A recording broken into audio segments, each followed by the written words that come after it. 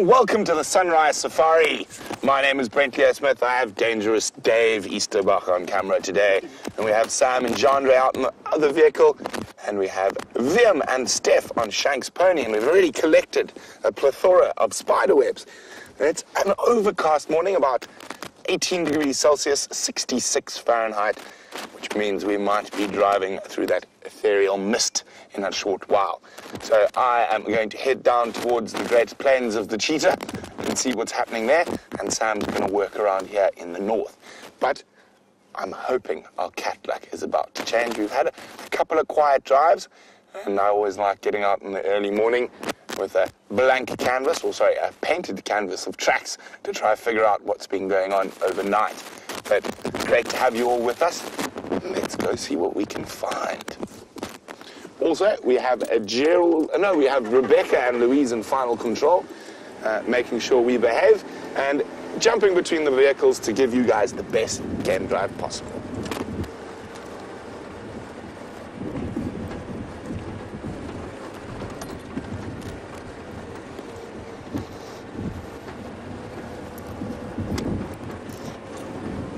So before we skedaddle straight to the east down towards Cheetah Plains, uh, we just had a quick look around Shabam Road. I'm just trying to see if there are possibly any tracks of Queen Karula.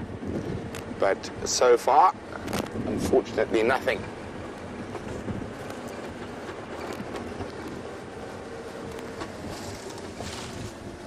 Lots of hyena tracks up and down.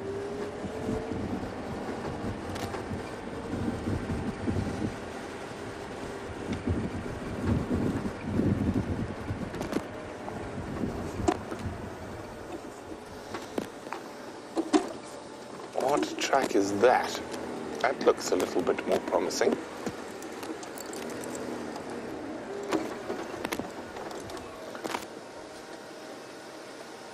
Ah, pesky baboon tracks yet again. From yesterday, no doubt.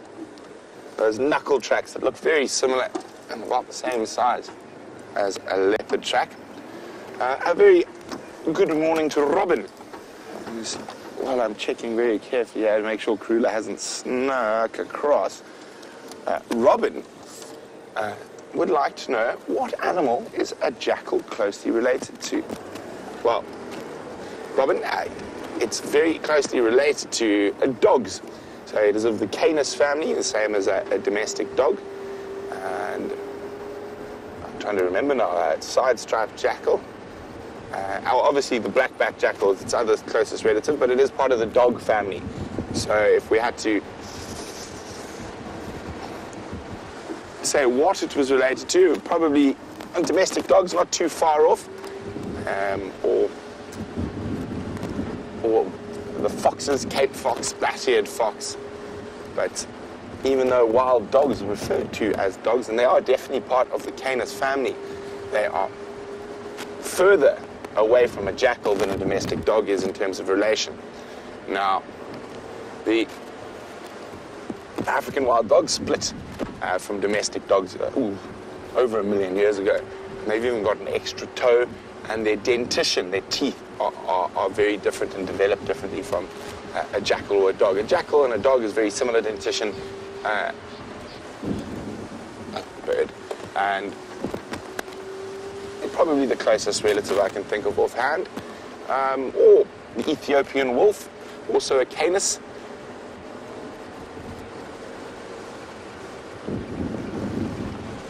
Uh, we get two species of jackal here, the side-striped and the black-backed.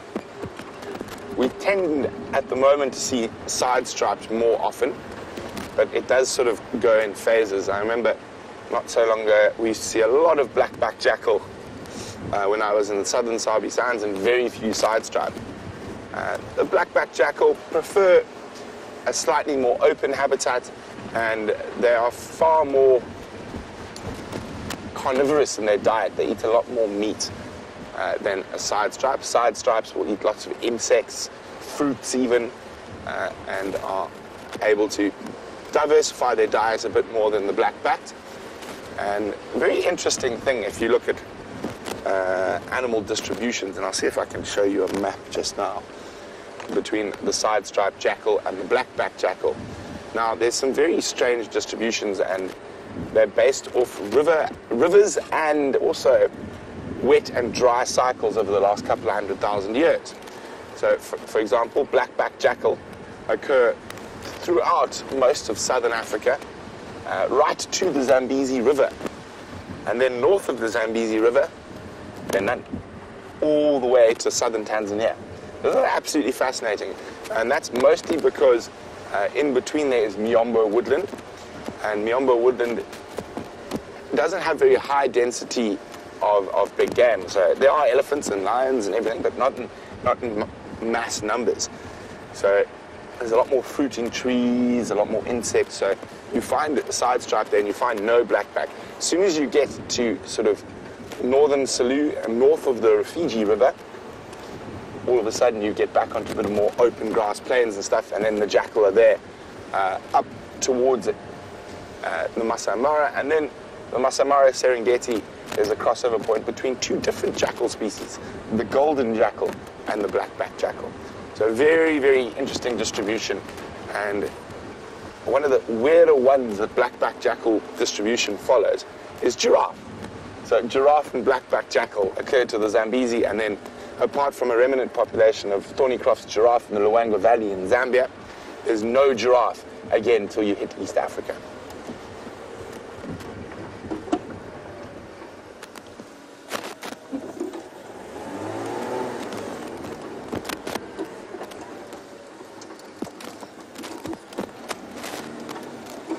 Just double checking for Queen Karula tracks. Nothing just yet, so we're going to continue on.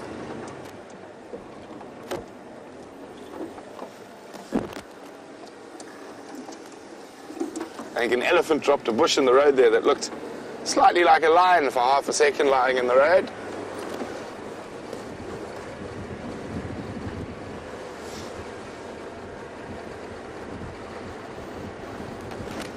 But it is not, it is definitely a bush. Been dropped by an eddy.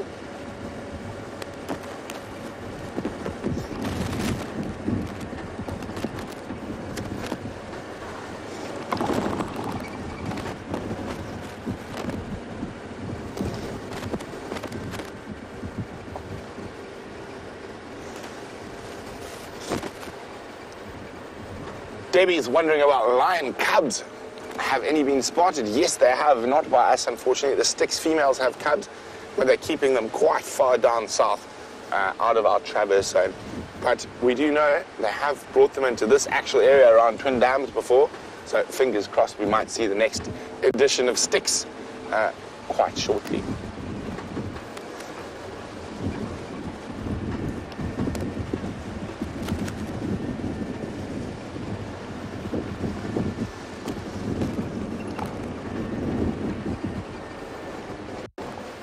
Dropping down towards the Mawati River.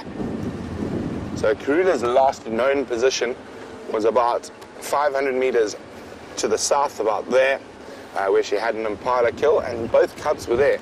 So there is still a chance she might have crossed somewhere around here.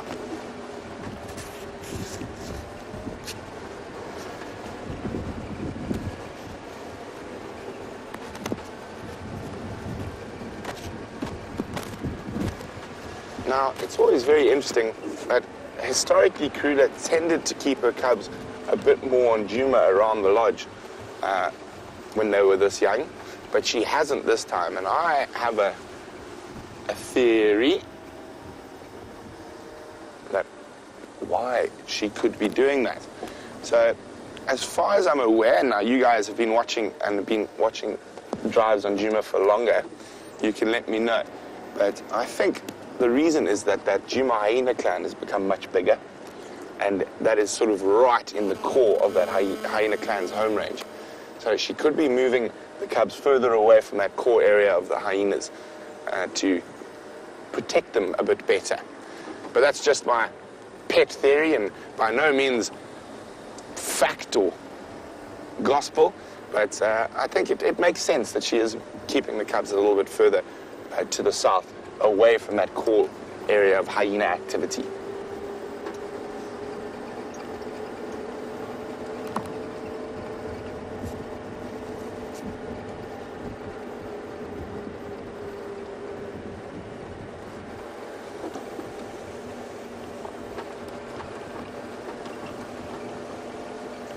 I'm just going to have one last quick look here, see if there are any leopard tracks coming up the riverbed.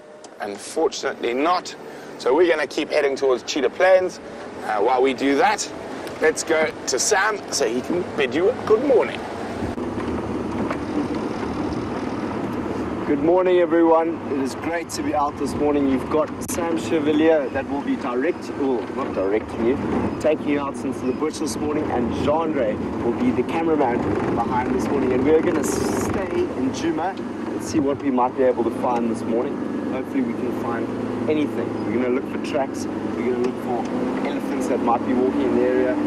Last night, I must have bumped into about 60 elephants on the way home. It took me forever just to get home. I was also with Ray coming back, and it was, to be honest, it was quite magical actually. Even though we were late for the live safari show, we sat underneath the moonlight and watched many, many elephants walking past us, which was very, very cool to see that. But now we are off towards the hyena den. Potentially there may be some hyenas. My experience with the hyena den over the last few days is that on the way there, I just see hyenas just running in every direction before I even get to the den. So I wouldn't be surprised if I get over this hill and next thing I see are a bunch of hyenas running around. But it is a, a fairly warm morning. I don't have my koi on or my jacket. I think that is because the clouds are quite set in the sky, but they're not really.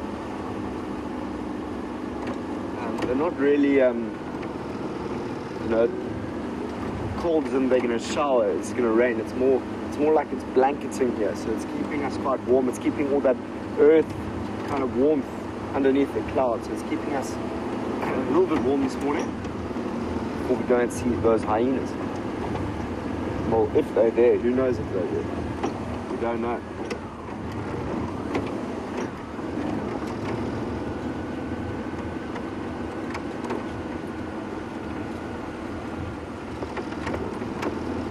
Chris Rogue said that he potentially saw something that was on well heard something, a leopard potentially on quarantine. Chris Rogue. What we'll do is we'll go and check the hyena den and see if anything's there, and then we'll make our way around around the back and see if there's any uh, leopard tracks that have crossed in. And as soon as we find tracks, we'll try and work them as best we can and see what we might be able to find this morning. I wonder who it might be. It could very well be Tingana. I know Tingana's. I was tracking Tingana probably about two days ago with them. We were walking through the block just ahead of us here and went off into Buffelshoek. So, Chris, we shall look around and see if those tracks come onto the road anywhere. I'd be very, very, very excited can see Tingana again. I haven't seen Tingana for a while.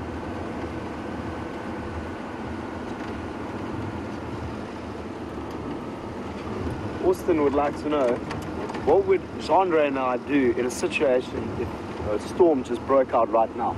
Well, Genre, you the cameraman, what would you do behind there? Put the rain covers on. You would get into a, a mode which you don't normally see. Genre get ready mode, and he'll just start piling all these rain covers on and making sure that the camera is safe, and as well as the VR rig, which is just to the left of us there. So we just make sure that everything is safe when it starts to rain. So, in my situation, I'll just check my books and everything and make sure. Of course, I'll help Genre where I can, but he's, he's the expert behind the camera. I also have to cover the dash here, so I'll have to this monitor. And Elvis would take the rain, I think. Elvis is a, you know, most elephants don't really have anywhere to go. Here we go, we're off to the hyena den.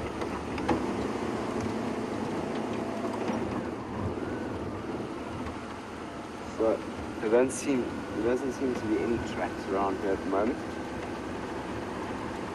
But what was fascinating is that those those hyena were running into Buffelshoek and there was some of them ran into Simbambili and he's like three or four of them that morning ran that way and then two two ran that way.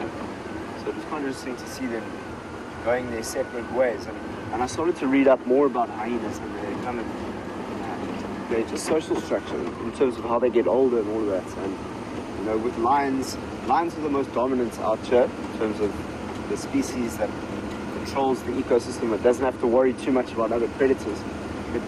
Same as that is, is close to a hyena. Hyenas are very, very close to that sort of dominance. Like a lion will kill a hyena, a hyena but hyenas also, especially when those in those packs, they're formidable creatures, and and that's why it was fascinating to watch them just running around, even the youngsters running into buffaloes because it just made me understand that the hyena has also a very, very big influence out here and are formidable hunters as well as they are scavengers. That is the spotted hyena. Enjoyed learning my hyenas since I've been here.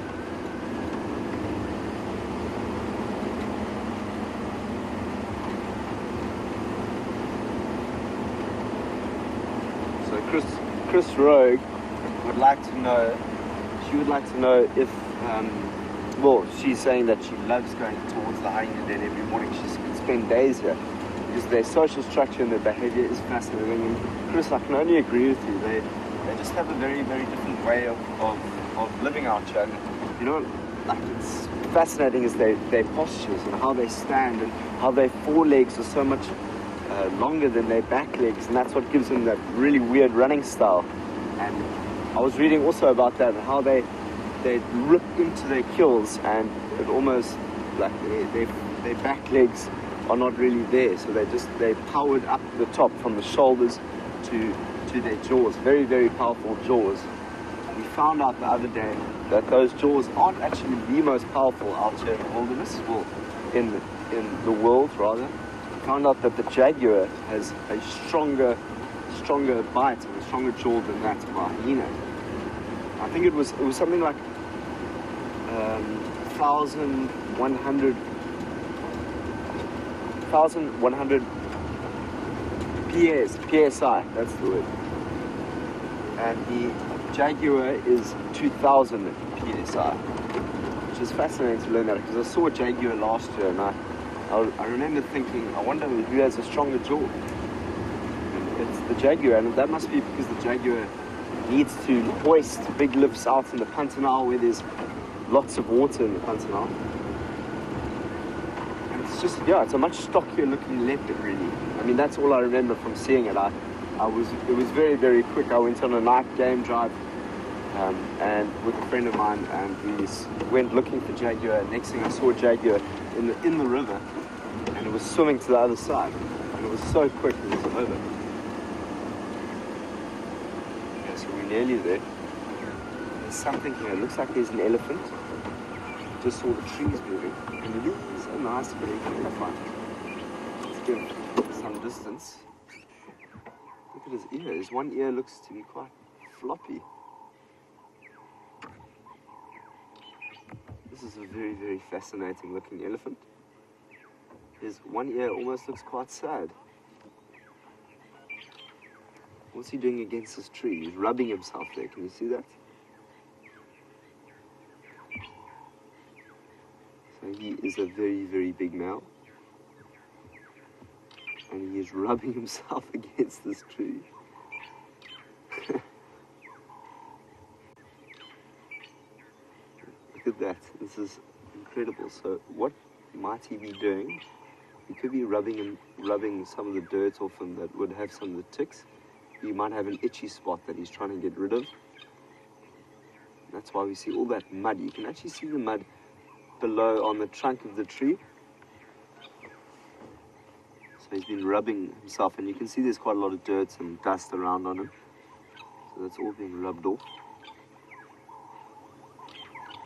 Oh, so that ear is fascinating though. Why is it lost? So I think they generally consists of cartilage in there. And those ears. See, now he's really rubbing. Look at that. That is a perfect example of how an elephant likes to scratch itself on trees. That was very cool to see that. A nice morning scratch, and then uh, very relaxed looking walk down the road. There he goes. Look how big they are. I was actually, what's interesting, they've, the, the elephant has three nails at the back on those hind feet there. There's three nails there, and there are four nails on the front feet. Which is quite interesting. And we were learning last night how they use those nails to, to cut grass sometimes, and then pull them up into their mouth. Some birds flying around. You can see a fork-tailed drongo that's following this big elephant on the morning, and this drongo will be looking to collect any insects as the elephant walks on its merry way. Wasn't that a nice little encounter with an elephant there? Came around the corner and got to watch the nice morning scratch. Let's follow him slightly. He's going to be walking down this road very, very slowly so we can kind of meander our way with him. And this is where the hyenas will be. What does he see? There's a common duiker that's just well done, Jean This is an antelope species that we don't often see out here in the bush. It's one of the smallest, so similar to that of the steenbok, which is very, very small. This is a common duiker. And they are very skittish, which means that they don't like to be seen. So to be able to see this little antelope right now is such a little nice little gift of the morning to see a common duiker and they are like they almost look like they're diving everywhere. They duiker means diving, so they run and they jump and they look like they're diving into the thickets and away, and they've got ve- huge agility. But it's the one the one species that often gets eaten by the by the leopard. So let's go and follow this big elephant. Let's go and actually have a look at that tree that was being rubbed at. We can really, maybe we can see some ticks on the on the bark there itself. You can see how much that tree in front of us is really bent. It's quite fascinating to see that. Okay, so he's not far ahead of us. He's still there. I I can see him.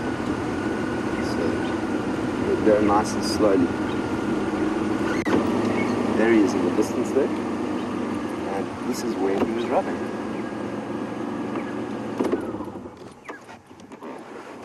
So have a look at that. Quite a bit of mud on this wood here. You can see there's the bark. That bark allows for a nice scratching post. So they've got very, very thick skin, elephants. It's around three centimeters thick. And they'll come to these trees and they'll be full of mud and they'll come scratch themselves against this tree. So I'm just looking to see if I can see any ticks that might be lurking around there. Because often you'll find ticks that might be sitting in that bark. So that is the tree that almost looks quite bent now. Look, look at the elephant now. He's still on the road, so we've followed him, seen where he scratches himself, and it now looks like he is ready to browse. We're not far from the hyena den now. It would be very interesting to see if the hyenas came out and what interaction would happen if the hyenas saw this elephant. And There he is browsing a Combretum tree over there.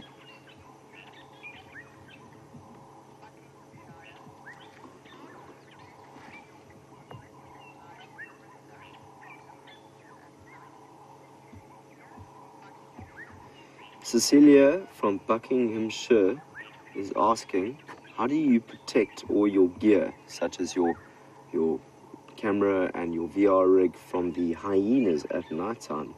Well, Cecilia, the cam ops, the camera operators, have their own little room where they look after the drones and they look after the camera pieces and the radios and and all that sort of thing. So we're all part of that room as well. We all also look after it. So we close the door so the hyenas don't get in there at night time. The hyenas might be able to get to the bins sometimes, but not to the camera operating room because we've closed it. Hopefully, everyone's closed it every evening. Have a look at this elephant who's getting up there with his trunk, breaking off something and eating. And what's also interesting is, I wonder, I think the age of this elephant could potentially be around 12 I mean, um, this is a guesstimate here, but maybe around 12 years old, maybe more, because he is quite a he's quite a big, big boy. But I mean, between 12 and 20 years, because what I've been reading and, and learning about is um, how elephants, in the breeding herds of elephants, how the young adolescent males will leave those matriarchal uh, to the big breeding herds, and slowly but surely, at the, around the age of 12 to 13, the males will leave, and they'll join with many, many different other males out here. And sometimes they can get up to bachelor herds of 10 to 12 of these of the young male elephants. And as they get older and older, I mean, there's been reportings of up to 50 males that, that will be together um, up, up in Tanzania and all that. So that was fascinating to read a little bit about that social structure of the male elephant and what it might do. But this one seems to be on its own. I can't hear anything else in the distance there.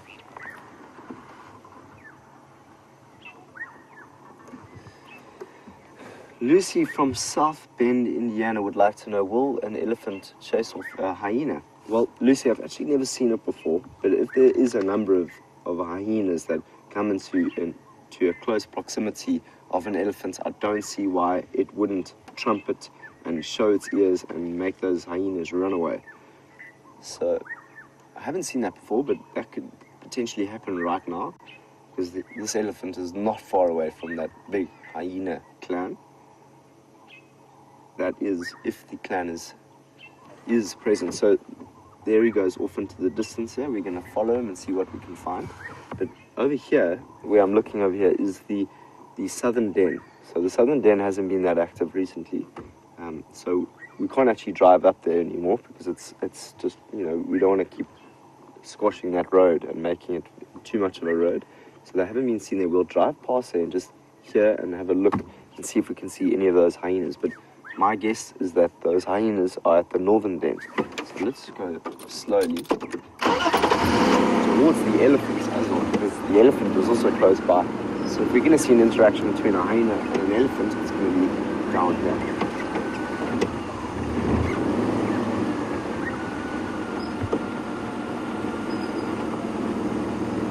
Think it was someone from Washington Mail, is that right? Um, they Nail from Washington would like to know, you know, can a human being actually outrun an elephant? Uh, no, you know, I don't actually know what the, the, the biggest biggest speed is of an elephant. Maybe probably around 20 kilometers an hour. So I don't, I don't, I haven't actually ever tried to run a race against an elephant, but that's an interesting fact that I could find out. I'm sure we, we probably could be a little bit more agile in our running style that is an elephant. As you can imagine, three to four tons running, it's hard for them to move around. So I think we have the agility, but the elephant might have the pace. Here's the elephant, it's right over here.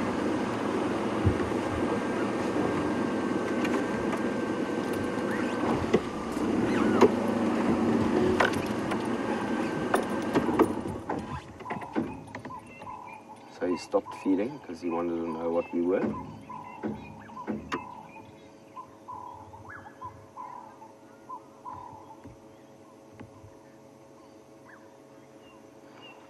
Cecilia is asking, it looks as if the elephant's ear is badly injured. Yes, Cecilia, the, the, the elephant's ear did look like a little bit floppy, and I think that could have been because of a fight between maybe another male, where the cartilage in the, the ear was actually broken or severed or just injured in some way that is causing that ear to flop down like that now. Look, he is really, really big and he goes off around the next corner. So that's even closer to the northern den of the hyenas. It's a little bit of an inter interesting interaction we've got going this morning. We're following the elephant down the road with Mr. Ellie, Elvis the Ellie, Chandra and Sam, following a big elephant that seems to have quite an injured ear. We've seen it rubbing it, rubbing itself against a tree now and browsing on the different ingredients around here. It's also a Terminalia, so they also like to eat Terminalia, which is of classy, but it's not as nice. You won't see that many trees the Terminalia species being eaten by elephants. This is still here. So the elephant, ooh, sorry about that. The elephant is there. We now we can see a really, really. We've come across a hyena. There's a young hyena here. There it is. This is going to be interesting. Look how he's looking. He's looking straight at that elephant. There's another one here. There's two. This is incredible. This could be, we've just answered a question around elephants and hyenas, and now it looks like two of the cubs have ventured out of the den. This could be interesting. Sorry about that beeping. That is the sound of the VR rig that is making that noise. Okay, so the hyenas are getting closer. Have a look. Ooh, the one, one in the distance there just got a fright. I think they're quite curious. They seem to be quite curious of the elephant, the large elephant here, but the elephant is not paying much attention to these hyenas that are here. This is fascinating behavior. I don't think they've spent much time with elephants. Maybe this is why they're looking so curious.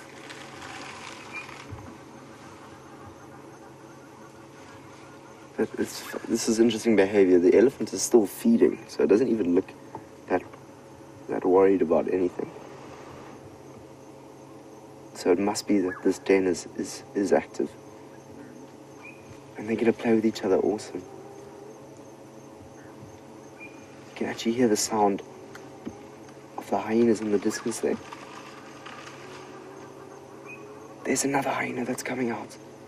There's a third one that's coming out of the thicket there. Isn't this incredible? It looks like all the young, young hyenas have come out to play. This is the only way I've seen the hyenas over the last few days. I haven't seen them at the den for over two weeks.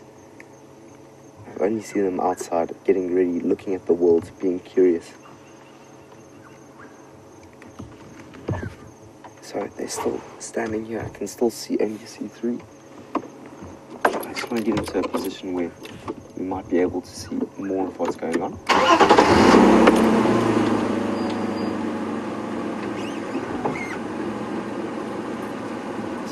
Elephant's walking in this direction. The hyenas are not far away.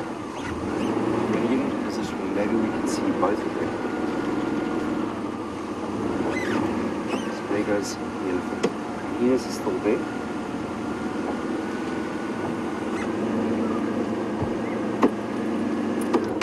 Switch off just because we don't know the activity of them. They're running, they look like they're playing.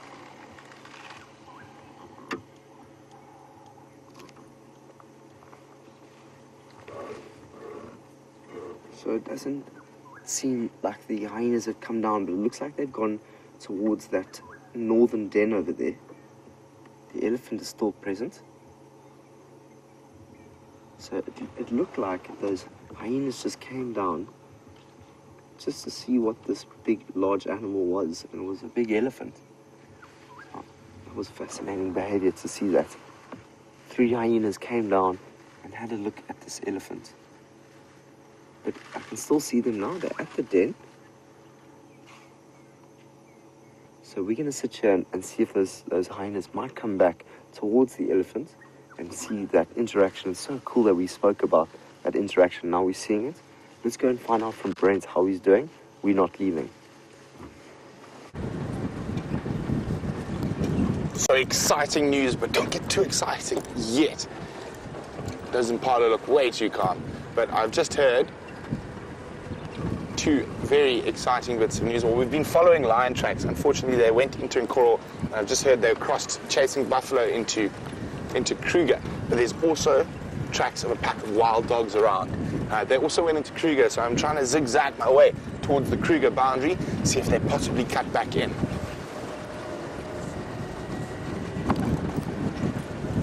We went and checked Cheetah Payne's plan, being the only permanent water source close by. Unfortunately, nothing there.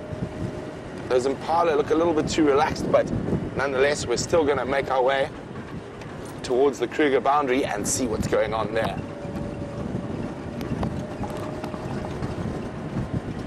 Ja, Schlösser. Jag kollar ut vad fan det ingår hos Mafifa med Malaga.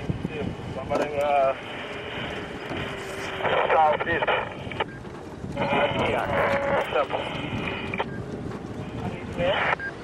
Never been checked. Okay, I was just coming to make my way there now. Uh, there's also a Madode area on Object. Uh, this is maybe Balaga, that's in west. So guys just listening? Sounds like there's female leopard tracks, but in Nkoro. Uh, might be coming this way, so we'll maybe head back there later. Let's check for these wild dogs first.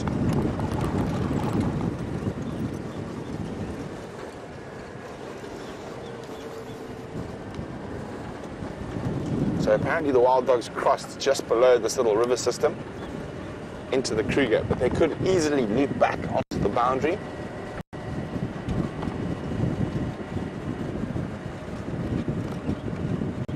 Lots of impala around here, so if you're a wild dog, that's good news.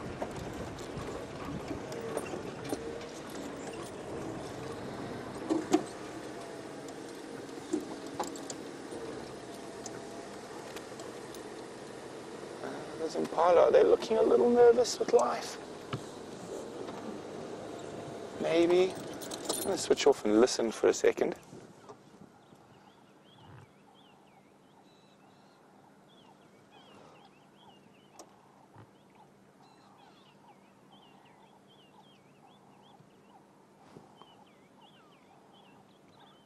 Just the grey go-away birds and starlings making a noise. Uh, As Impala look nice and relaxed, so.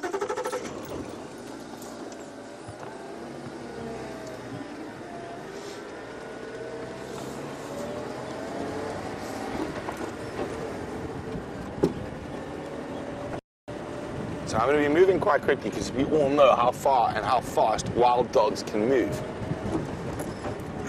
So, nice big open patch of sand here on the Kruger boundary, so good place to spot tracks.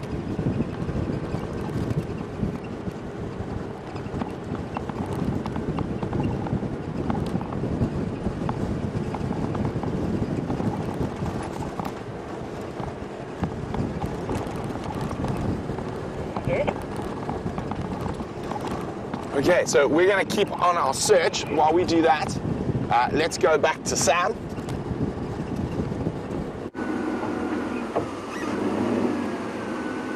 So we are still with the elephant. The elephant's over there. It's not not far away from us. It's walking right next to the den, the southern den where the hyenas are. I'm going to get to a position where we might be able to see if those hyenas are there.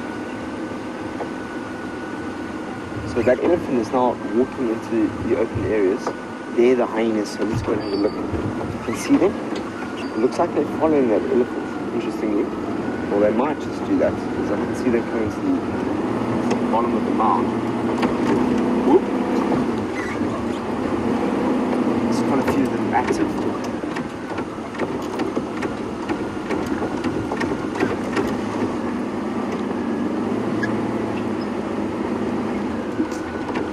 Yeah, they are. So the elephants in the distance there, the three hyenas are just coming out of the den. And they're very active this morning, as you can see, they're very curious. And they're just listening. So the, the elephant, if you look closely, is there. There is the elephant. You can just see the legs of that big, big male. And here's the one, the one hyena's now come down to have a little, another look at them. So it's just experiencing the world and seeing what these big animals are out here. Still being quite nervous. Look, he's just on his, his forearms there. He's got his ears out, listening. They haven't left contact with that elephant. There is the elephant. So the elephant is walking on the western side of these hyenas now. It's so cool to see this interaction between the two. So it's just three. I don't know where the the elder hyenas are. So now the two of them are standing up and getting a little bit closer to this elephant, which is fascinating to see.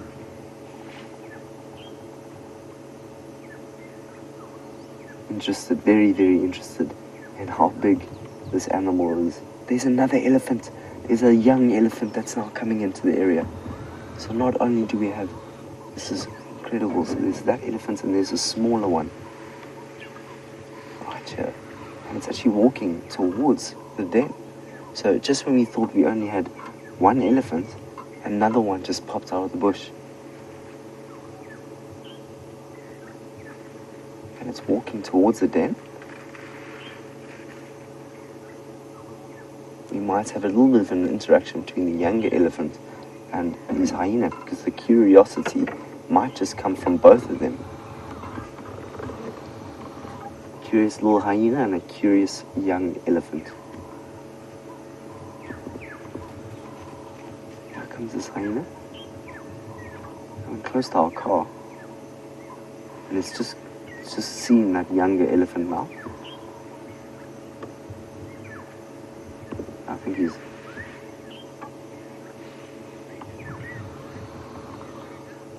So Brent is with a large breeding herd of elephants. They're going to be crossing into Kruger.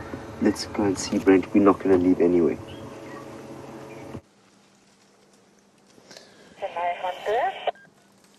So we're still on the Kruger boundary and we've come across a big herd of buffalo and they are moving into the Kruger.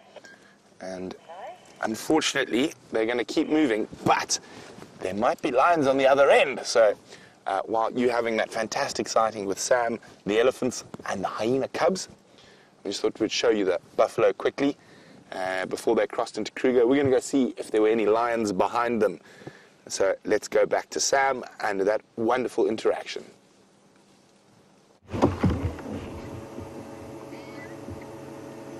So you managed to see a quick glimpse of that breeding herd with Brent. There's two elephants that were with us now. We cannot see. They've moved off into the distance, but we are still with these young, active hyenas that are running around the den. Well, this this one is not, as you can see. This hyena is just on the ground. Just want to give them an update on the radio quickly. Good morning, this is Sam from Wild Earth. I've just come down Aubrey's Road and the hyena den is active and there are two elephants, one big male that is heading in a westerly direction by the. Amazing.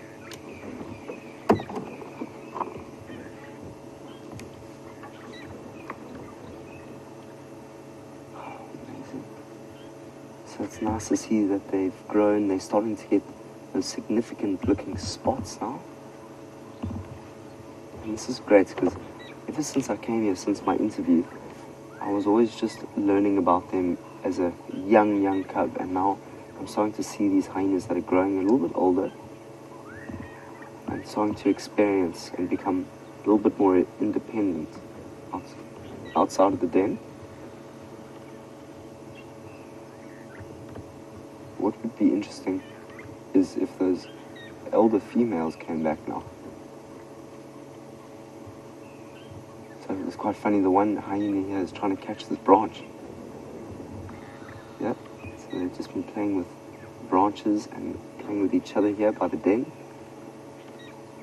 So they, one of their strong, as we were chatting about earlier, are the jaws. So they will be playing a lot with their jaws, as you can see. They need to strengthen those jaws. So they get, oh wow. Ooh, a little bit of frustration.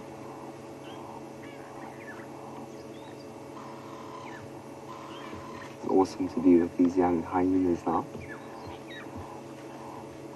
They're looking a lot more similar now that they're growing a little bit older.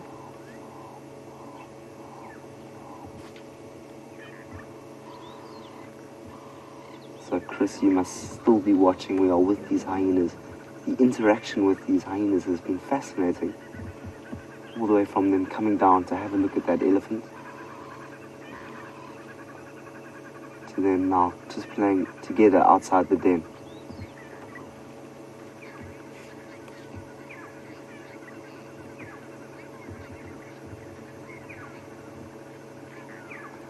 Betty would like to, well, was commenting and noticed that hyenas are quite dark when they are younger, almost like black looking.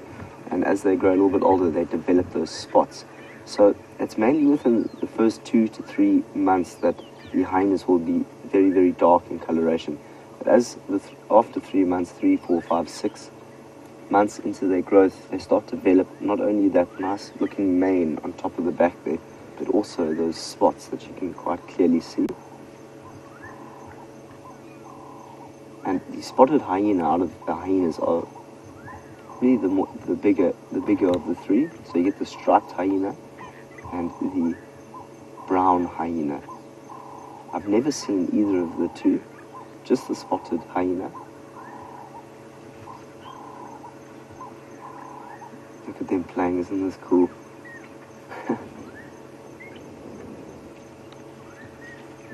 awesome.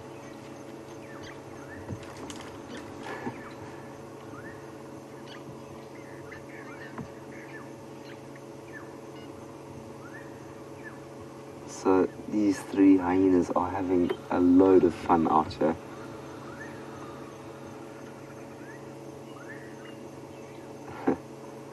so I'm really, really glad to be spending time with them. There's two that are just in the... There they are. They're coming back.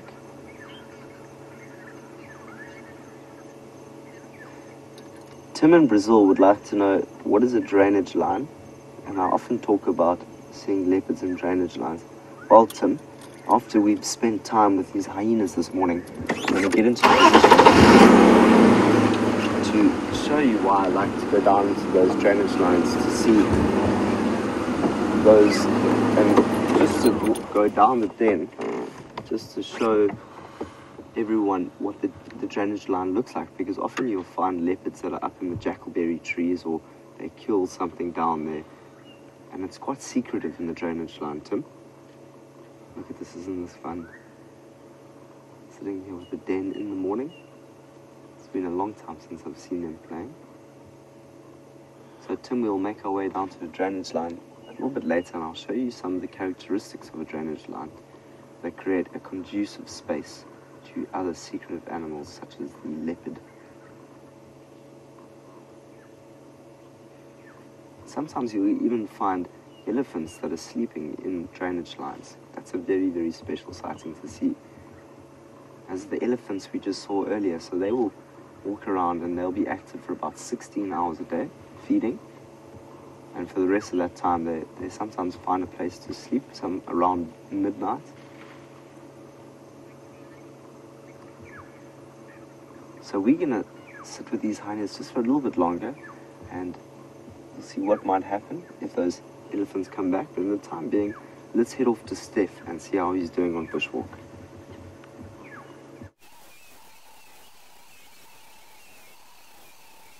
I mean to steal you away from your uh, from your hyena den activity. I know it's so special to see all those hyenas. We just wanted to say good morning this morning. My name's Stefan Winterboer and our camera today is VM Doornbrach. And we have come all the way to the eastern side of Djuma this morning. We are walking around the Central Depression area. We're going to be unlocking whatever's over here. We've already seen two or three herds of elephant. So today is amping up to be one of those special days. But without further ado, we're going to be sending you. Oh, right, we're not going to be sending you straight through to uh, to uh, to Sam at the hyena den. He's just busy repositioning or something. So one of the things that is immediately apparent about where we're standing now is the fact that there are three trees on top of this termite mound. Trees that are relatively not uncommon over here, but trees that you don't really see that often. And this is one of Sam's perennial favorites. He is, oh, we are looking at the false marula here. Now, the false marula belongs to a, family of trees that's actually incredibly uh, hardy trees. And in some parts of the country, these trees are used for fence posts and were once termed quite lovingly, I think, in the Afrikaans language as a kannie dood. And a kannie dood means that it can't be killed. Now, what that, why they, why this tree got that name was because they used to use these limbs as fence posts. As you can see, VM getting up nice and close to a dead branch there. But if you plant one of these branches, it had the uncanny ability of making leaves and giving roots. So what they used to do is they used to chop the branches here and there, and as you can see, this would make quite a nice fence post. And under normal circumstances, trees like that would just die and become a fence fence post. But these trees, this bough, will actually sprout leaves, sprout roots, and will start growing as a tree again. Can you believe it? So these live long trees in is a, is another common name. Live long tree, a canny do it, you can't kill it, or just the normal false marula. And they call it a false marula because it looks very similar to a marula tree with its bark that comes off in these patches. Now, why a tree has shedding bark is because this is the tree's skin. And you have any number of parasites that like to live on a tree's skin. You've got a lot of fungus, and then you've also got mistletoes as well. Now, what this tree does is it peels its bark off in these squares. I'm, I'm going to find one that's ready to come off. Here's one that's ready to come off. As you can see, it came off. With this falling piece of bark will go all the mistletoe and all the fungus and then the tree just grows a new bark. And so it keeps on popping off these squares of bark. And I actually only know of the, the marula tree actually that's in this area that does that. I suppose a leadwood as well to a certain degree.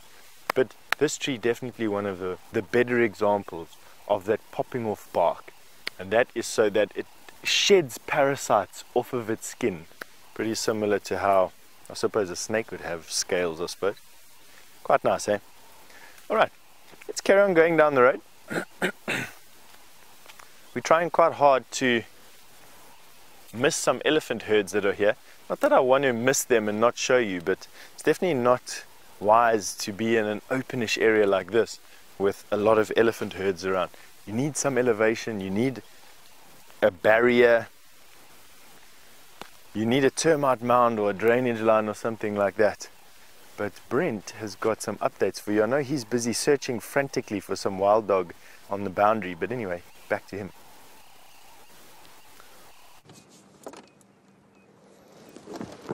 So unfortunately, no sign of those wild dogs. They must have headed deeper into Kruger. But I did hear that there was a female leopard moving from Nkoro towards this spot. So I'm just going to take this. I need to try to listen where the vehicles are. So it's a. I think Sam has seen her in Canyon, but apparently both her cubs are with her. So that's why we're sitting here patiently watching and listening and hoping she comes this way.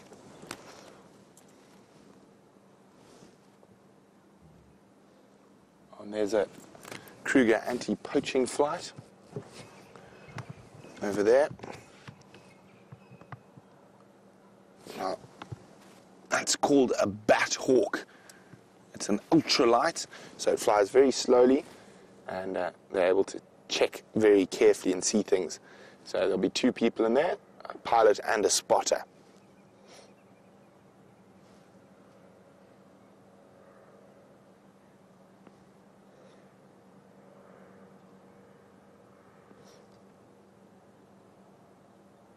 Yeah, coming towards us. I actually uh, know the pilots of these anti-poaching flights quite well. Really great guys. Twin brothers, believe it or not.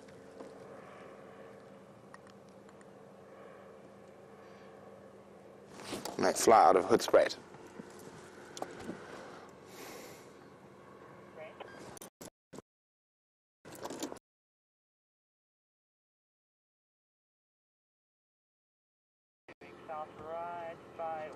Kokwa Open. Copy, I've got the vehicle audio. So I'll just stand by here. Sounds like she's heading south. That's straight towards us. And we need to thank Shanae for this. She called me and told me there was a leopard on its way to Cheetah Plains. So I'm going to look here. She should be popping out anywhere around where Dave is showing you at the moment.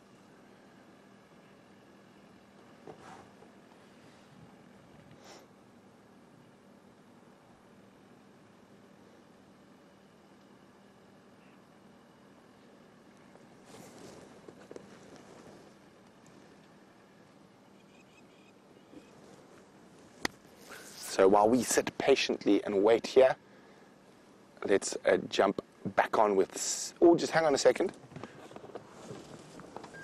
I see people in here, in there. We should spot her any second now. A little bit to the left, Dave.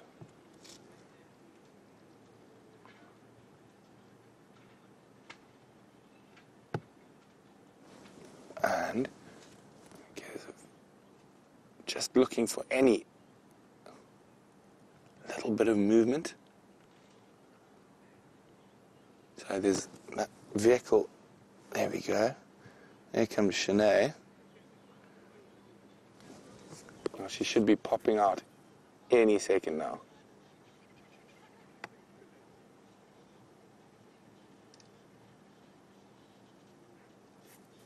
Go to the left of the car there, Dave.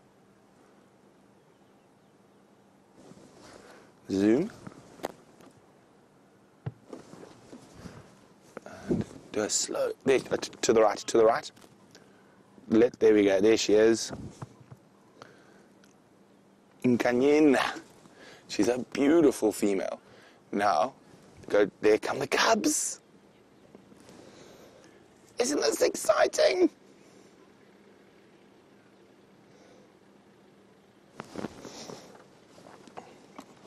Definitely gonna have to dig out the camera.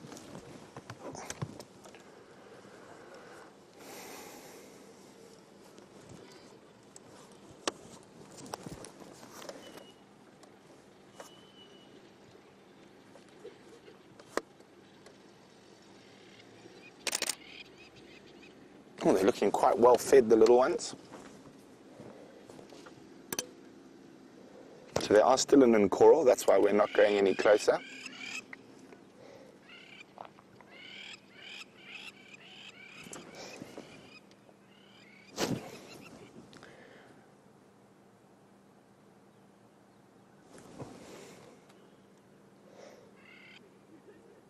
Isn't this special? Here come the little ones. If I remember correctly, there's a boy and a girl. I've seen them once before. They should be about four months old now.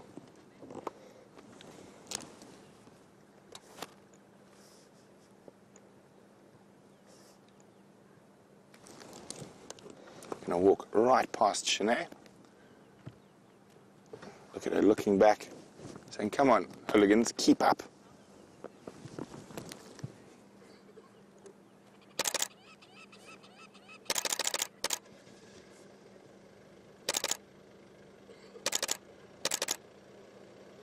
Yeah, we'll get a nice photo for Shanae.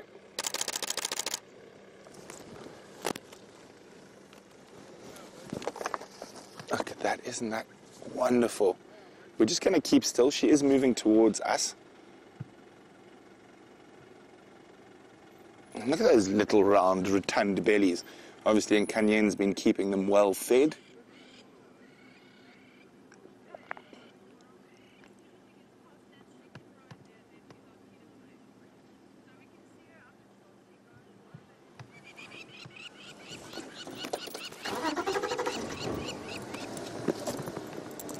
Yeah, let's go parallel to her. These little guys are really relaxed, and they are pro- they're over four months old now.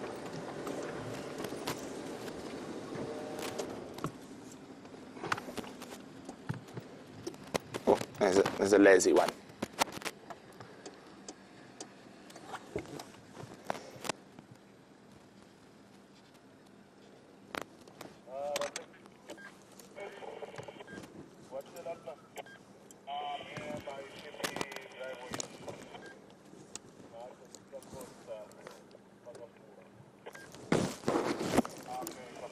It isn't this special. So I think this is the first time the Cubs have been seen on the live drives.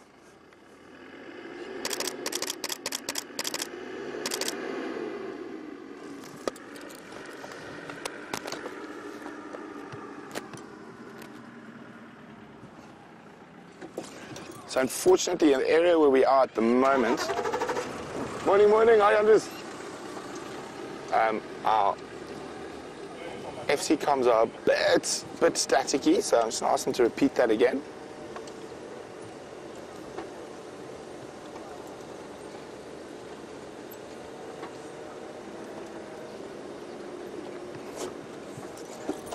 So Angel Lady says Inkanyeni has the most beautiful tail. Oh, look at that shaft of light coming out from the clouds behind.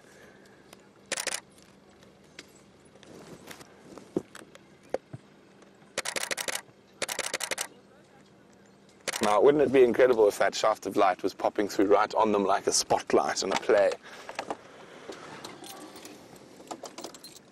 Now, she looks nervous. From what I heard, there were male leopard tracks, so there could be quarantine or, or another male around, and that's why she's moving these cubs.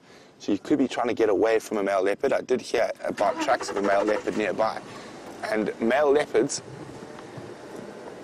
kill more leopard cubs than anything else, more than hyenas, more than lions. Check over. She keeps checking over her shoulder. It might be worth our while if she does cross into Kruger, because she is heading that way, uh, for us to go back and check towards uh, three in a row pan.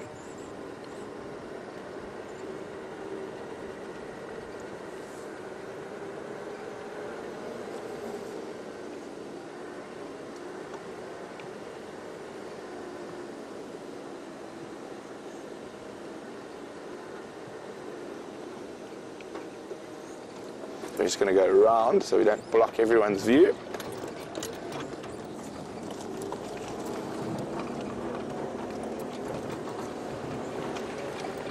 Morning, morning. So isn't this exciting? The first time Inkanyeni's cubs have been seen.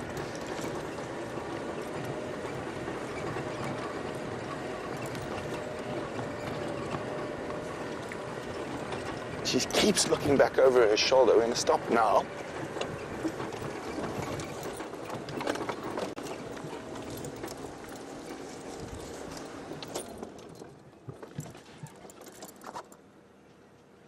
So there we go.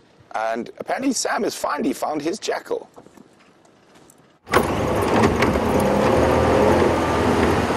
I've just found a jackal. Where did it go? We've got to be able. This is the first jackal I've seen on this property. It must have run off. Where's that jackal? So Andre spotted it in the distance and then it ran into this thicket. Okay, we're gonna see if we can find the. We'll drive the fire break and see if we can find that jackal again. In the time being, let's go and have a look at those cubs. So when she's just moving into a slightly wooded area now. We're just jumping up ahead again.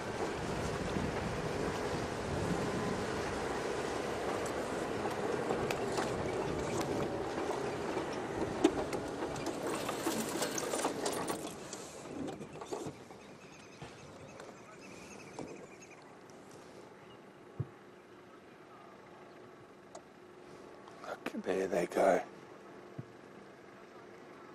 Now, she's still on Nkoro at the moment. We're right on the boundary.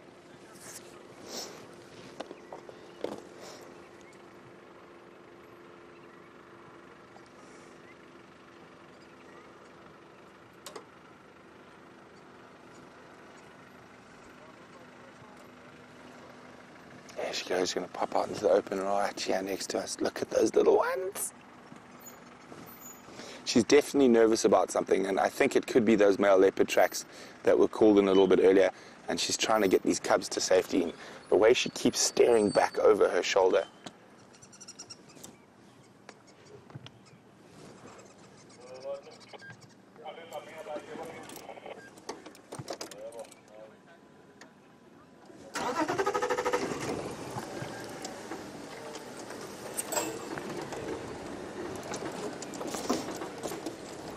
So we're gonna, there's a little link road that comes up to the boundary. I'm just gonna shoot around towards that.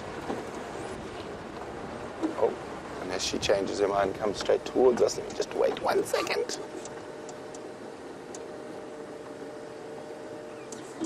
No, she's gonna keep going towards there. So what I'm gonna do is I'm just gonna you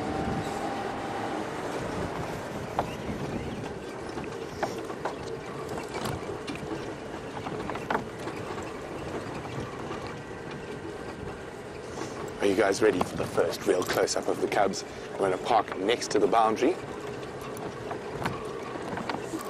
Make sure I don't wander across it by accident.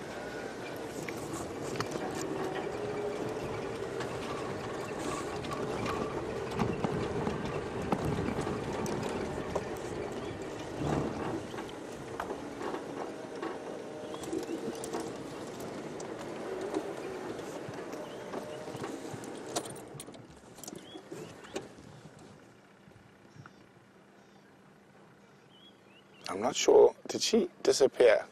No, here she comes.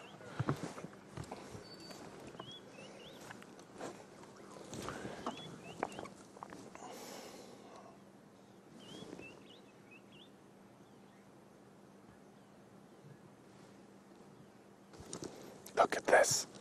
So Aqua's wondering why would she have chosen such an open area to walk through? It's so exposed for the little ones. Well, Aqua, it's the quickest way to get away from whatever the potential threat she's moving away from is.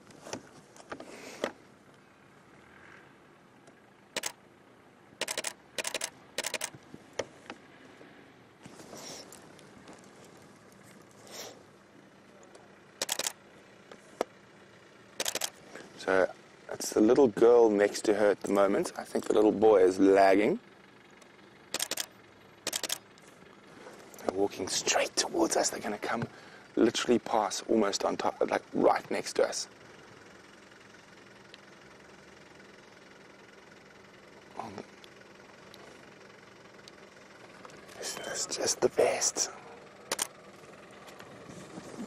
Look here. Look at that. Look at that shit right here. We've got a cub. Looks like the cubs are going to cross either side of us. That's Inkanyeni. Oh, you can hear that little contact call.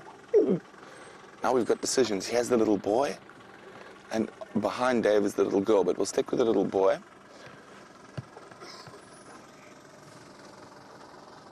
Absolutely magic.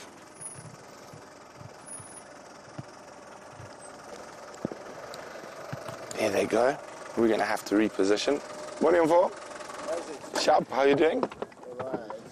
Is she running from a Wanuna or? Which one?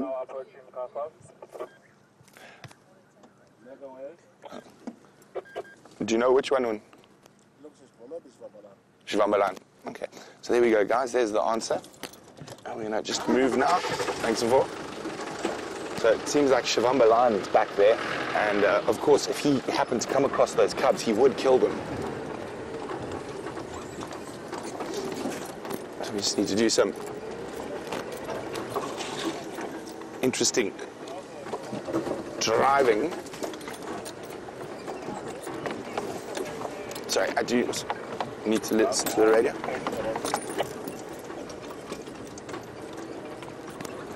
I just got to make sure. See where she is. There she is. And we might get stuck in a thicket, but I will try to get around to next to her again.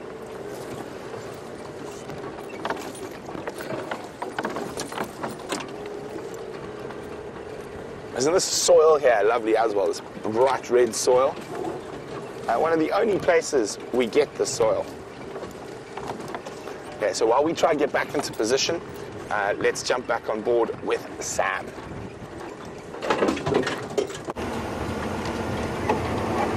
Wow, how has this morning started already? We've seen hyenas, we've seen an elephant, and we've seen interaction between the two. I just spotted this jackal. It's my first jackal. Actually, who spotted it was our friend Jandre at the back here. I was looking left, right. Then all I knew was a jackal standing in the middle of the road, and the next thing I knew, it was gone, and it ran through here. So hopefully, maybe we can go back to you. But in the meantime, we're going to see if we can relocate on that jackal. And now you're sitting with Inkanyeni and her cubs.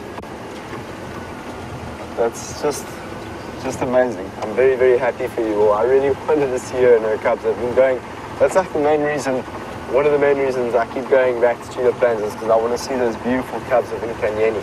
I will have my time, but I'm so excited, so, so incredibly happy that you're all getting to witness that beauty of Inkanyeni and especially her young cubs. Okay, so we are coming out into this open area now. Hopefully maybe that jackal has run. Ooh, quick link. Let's go and see how Brent's doing. There we go. There she is. She's moving slightly further away from the boundary now. She's moving deeper into Nkoro. Uh, we will try see if we can see her for as long as possible, but I think we are going to lose her now as she cuts further north into the block with those two gorgeous little cubs.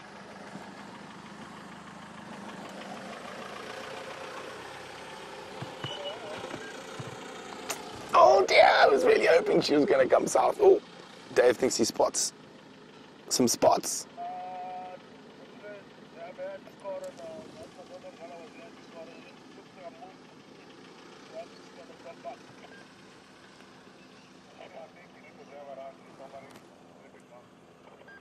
Oh man, wasn't that special? Um, unfortunately, not as long as we'd like. They never are when they disappear. But yay, babies! Very exciting.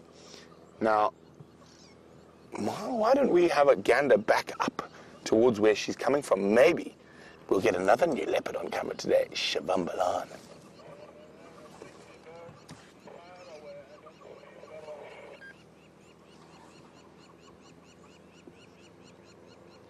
Okay, so I can't really, as I said, this area is quite bad for comms, but someone's asking what size are the, the leopard cubs in comparison to a domestic cat. Cat, they're a bit bigger, actually, they're quite a bit bigger than a domestic cat. Already, these guys should be four, five months, if I remember correctly. And so they're much bigger. They're already probably oh, nearly double the size of a domestic cat. Hi. She went through there. Thanks very much. Now I owe you. I owe you. That's alright. Glad you guys enjoyed it. Yes. Quickly, quickly, quickly before she runs away. There you go. Wave hello, Shanae. Eh? There you go. Cheers. Okay, so I said we're in a really bad comms area, so I'm battling to hear. I think we're going to jump across to Steph on Bushwalk. If we don't, then it's Sam, and I apologize, but we're going to go see if we can find Shavambalan.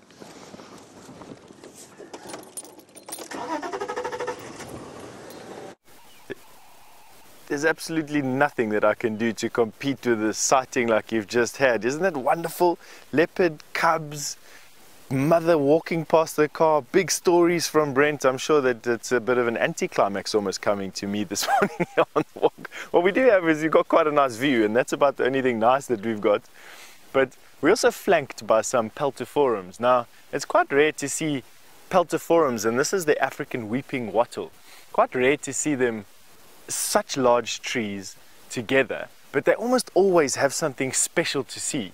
And if you go a little bit closer, and we can come and have a look through these very soft velvety leaves, they make quite a nice bedding when you're sleeping out in the bush. I almost always look for peltophorums close by before I make camp.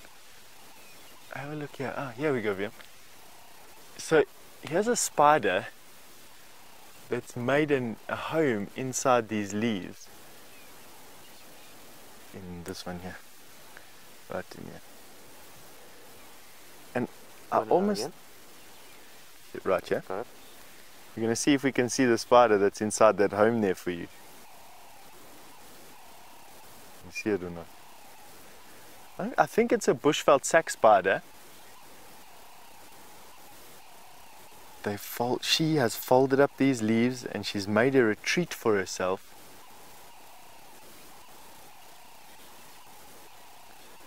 And I think, as far as I can see from where I'm standing now, it looks like that she's on the roof of this little silken retreat. And quite often at night time, spiders will build themselves a home. This one's a little bit too elaborate for me to be a one night home. This to me looks like it's the home of this particular spider. That she's taken some time to put these leaves together and spin it for herself. It looks like something that she does. Uh, it, it looks like something that's more home than anything else. And so, what that leads me to believe is this little spider hunts this particular bush. And that's where she'll live until she gets brushed off, until the plant breaks, until the leaves fall off. They can move, they do move. But in this particular case, I think she hunts this bush. So you probably find that during the day she comes out and she combs through the leaves, just like Viam's showing you over there, looking for things that are hidden amongst the foliage.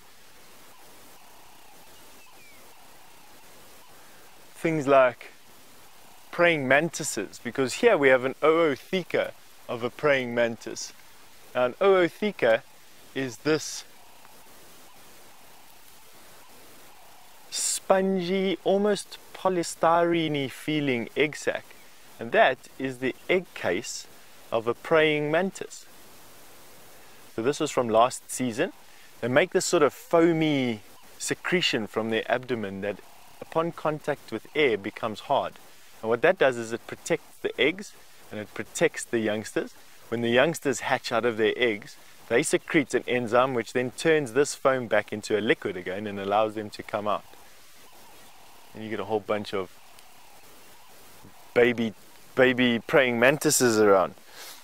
What we're doing here in this area is we're trying our best to try and thread our way through two different herds of elephant. Where we're going now, as you saw just now from the view, and what you can see from behind me there, it's quite open and it doesn't actually give us much cover at all.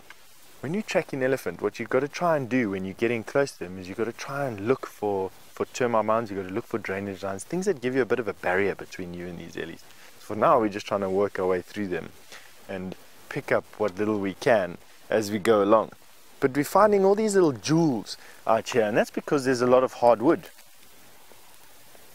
And hardwood, in general, is quite good for finding surprises.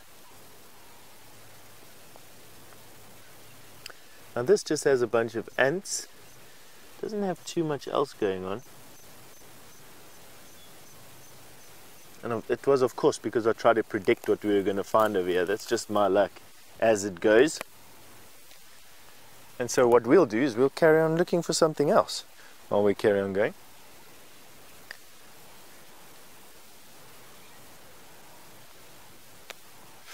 And Elaine, while I'm busy combing through the undergrowth over here, good morning Elaine, you wanted to know, do we find any snakes in the undergrowth out here? Yes, you do. It's not common to find snakes though, Elaine. Generally, how we know, or crossing the road either, how we generally find snakes here is either crossing the road while you're driving the car, or with birds mobbing them, that's another very common way of finding snakes, or funnily enough, in the camp. The, the area where you'll find the most snakes is in the camp. Um, and saying that, I mean, last year we probably had, I don't know, 10 or 12 sightings of snakes last in this, this dry season. What do you think, Vim? Probably not more than that. So you won't find more than two dozen um, snake sightings in your camp a year. And then you have your odd occurrence. I know this year during drives we've had black mamba quite a few times on drive. We've had uh, boomslang quite a few times on drive, but nothing much else. We've had one or two other little small snakes. And that's about it. That's about as common as what snakes are out here. That's a normal year for us out here, Elaine. So I'm going to keep on combing through the undergrowth. There's a chance that you bump into something over here.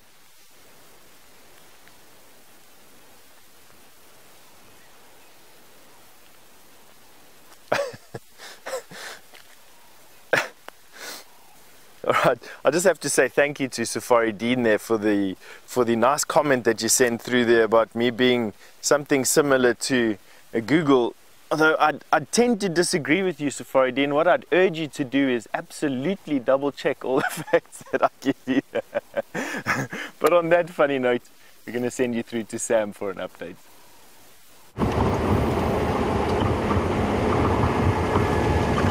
So we are now on Triple M cut line with Arethusa to our right and we are moving down towards possibly the airstrip of Arethusa but we're going to go first on Impala Road and check if there's any tracks maybe of shadow that might be lurking in the area. It's been a very very fun morning of cats so far. You've managed to see some young cubs and a beautiful leopardess so that's very very exciting. You're going to see it's been all of a sudden this morning just kick-started into gear, first gear straight away. All sorts of things has it's just started. So what an exciting morning. What might be able to find this morning? So we've got, also got an update from, from the very west here around a young, some, some other leopardesses. so we'll see if we can find them.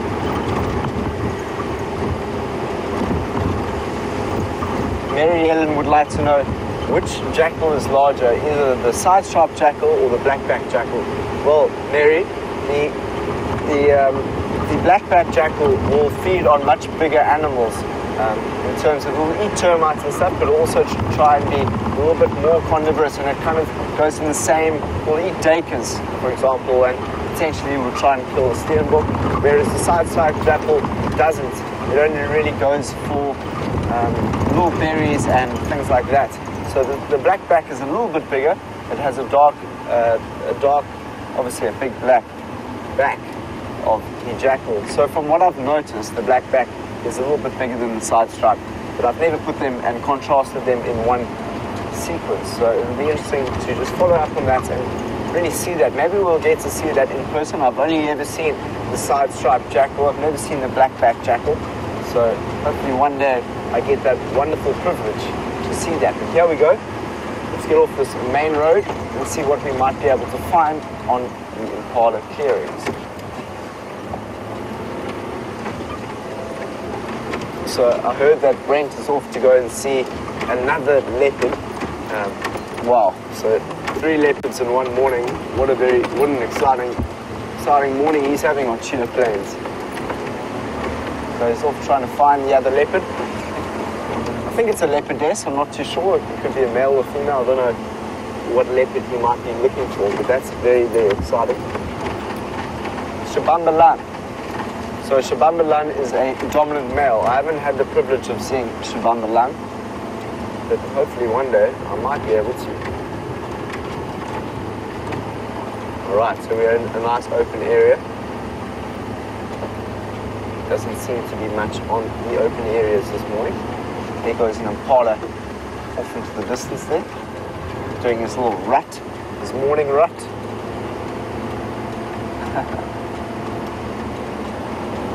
Let's see, we're going to see if we can find anything this morning. I mean, we've got leopard already, so we'll see what, what else we can find. I mean, the wilderness will show us what it wants to, just like that side stripe jackal just jumped in front of our vehicle, which is very cool to see that.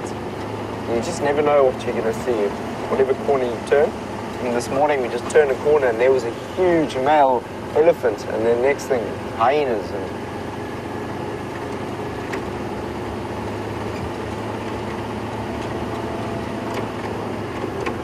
Yo.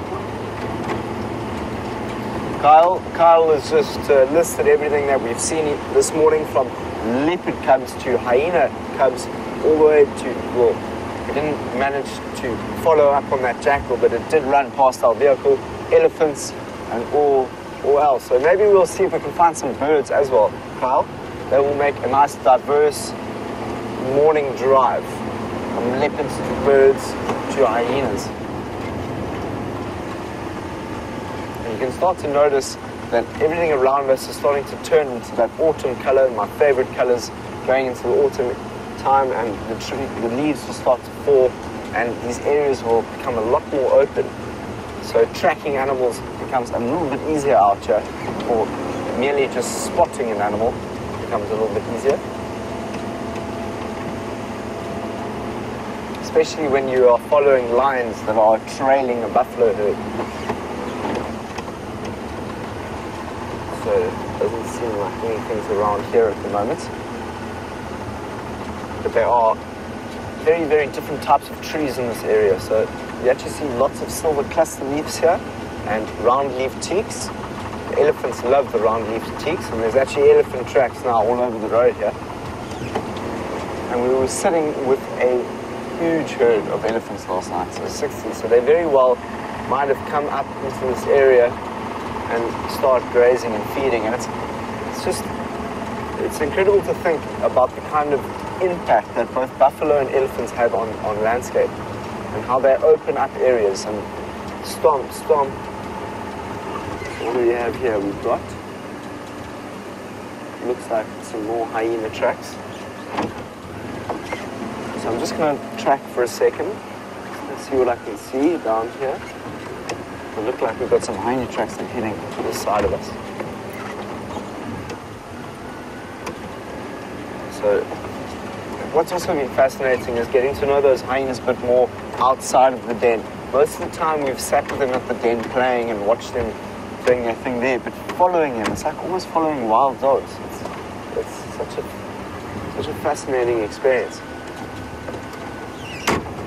Alright, so we're now coming to our four-way crossing here. Just gonna see if there's any tracks that might be crossing. There's no tracks here. So there's another open area that we're coming up to, and this is Rebecca's Road. So Rebecca's Road will take us all the way into the east and towards Buffelshoek. And we're going to have a look in these open areas. Potentially there might be something like a wildebeest that will be walking the plains, or the open area rather. Yesterday we just had the most magical sighting of, of ostrich with wildebeest and then zebra in the, in the background.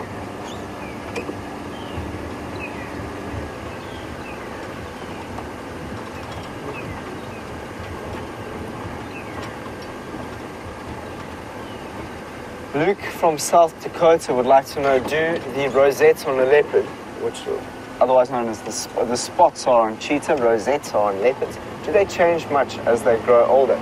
It's a good question, Luke. Um, I don't think so. I don't think that they change that much. I think they are born with a spot pattern, so they have that spot pattern, pattern here. So you must have been referring to that spot pattern. That, that won't change throughout their life unless they got into a fight or something and, and it changed. So I think we might see some track. What have you seen Jandre? The leopard tracks. Okay, I'm just going to check.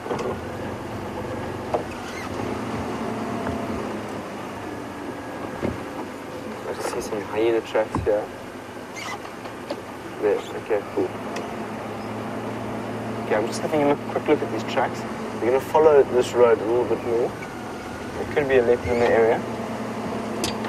Just listen to the, the sound of any alarm calls from monkeys or birds that might be telling us. Even a kudu will alarm call through a bar, or nyala. The tracks of a giraffe as well. So good.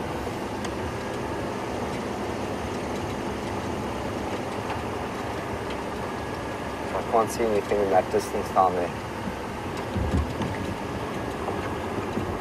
But that is, looks like there's a little bit of rain all the way down in the distance there. That's where the sun would have risen this morning, but because it's been quite a cloudy morning, we haven't seen the sun pop up. It really is quite a bit warmer in the mornings when the sun doesn't pop up and these clouds just hold that energy. We've just got a lonely, another lonely impala here. But it's also interesting to see what kind of behavior that impala might be in. So it looks quite relaxed as it sits there. Let's have a quick look. That's a nice, good-looking male impala. You can see that the impala is looking quite relaxed, so it yeah. So there doesn't seem to be anything that is lurking around here at the moment. It's interesting to see, is he on his own or is there some females around him? Because it's still during the rutting season where these males will be grouping the females. I can't see any other impala around us at the moment. So let's head on and see what we might be able to find around these corners.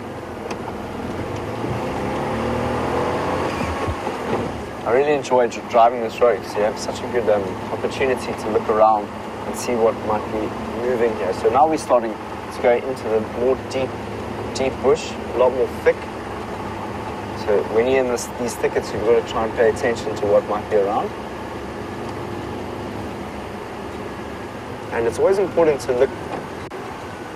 Ooh, just hold on. Some more tracks here. Okay, so let's continue. It's also, as I was saying, it's important to not only look at the ground where the tracks of the leopard might be, we can have a look at the termite mounds and the trees where a leopard might be lying on top or lying on top of, in the tree or on a termite mound. So we're looking everywhere. But in the meantime, while we do that, let's go and see how Brent is doing on Cheetah Plains.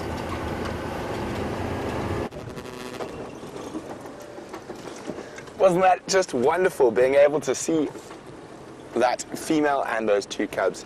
Uh, incredible. I'm on an absolute high at the moment. So what Dave and I are doing now is we're going to head back down towards the south. Uh, the tracks of that male Shivamba line uh, have not crossed into Cheetah Plains. They're still in Nkoro. So we're just going to go have a gander to what's happening on the southern boundary of Cheetah Plains, check for Gnormless Gnorman the Gnu and his friends, and uh, then after that we might head towards the western sectors uh, of Cheetah Plains around, I know, very confusing, uh, an area called Djuma Dam, and going to go have a look there and uh, see if there's any sign of the Styx lionesses were just to the west of there last night. Positive four. There we go. Uh, Nyari is. I called in at uh, CP Malamala Kruger. Maybe three, four hundred. Just moving around, eating.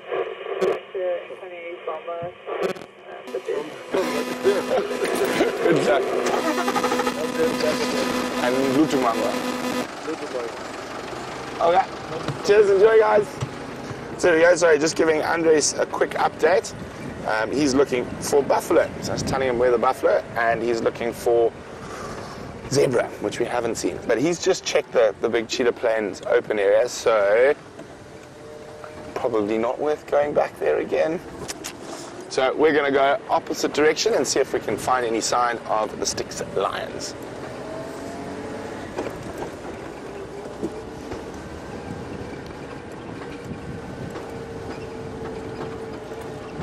So while we keep checking the southern boundary of Cheetah Plains, Sam has got a bird of prey.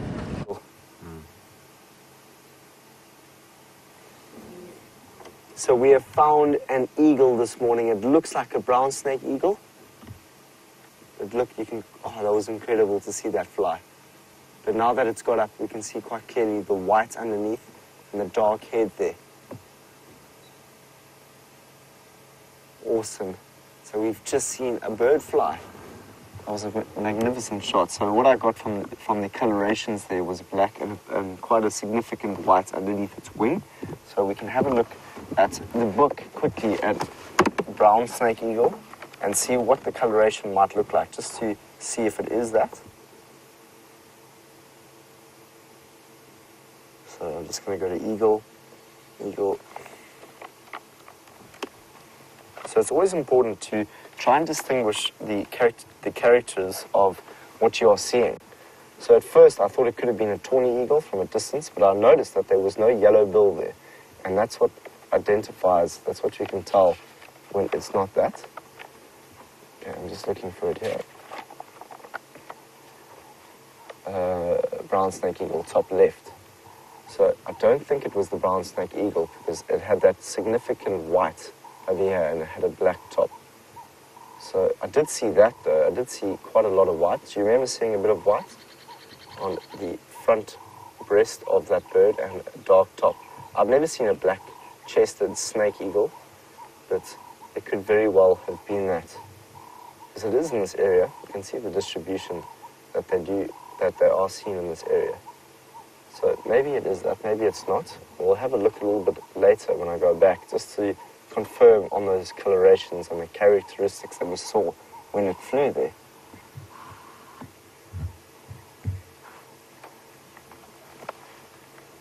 So there was also white under those wings and a black back. So that we might need also another another bird uh, bird book for this because this one only shows us one picture of it.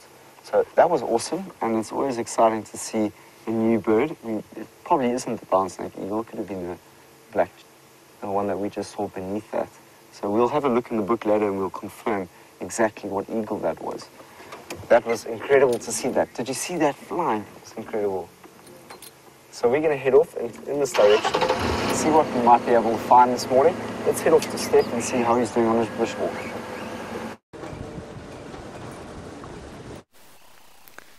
Now, walking through this barren wasteland that is this area where we are at the moment, we've found this very inauspicious piece of grass or piece of leaf litter, for lack of a better word. that what you're looking at there is a locust. I'm going to point out the grass quickly for VM to find it. It is actually so camouflaged that it is tough to see.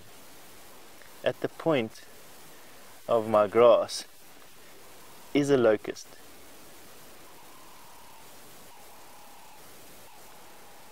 Have a look at that. So, so camouflaged. I mean, that's just bouncing you in on that double zoom. Wow, look at that detail. That's just incredible.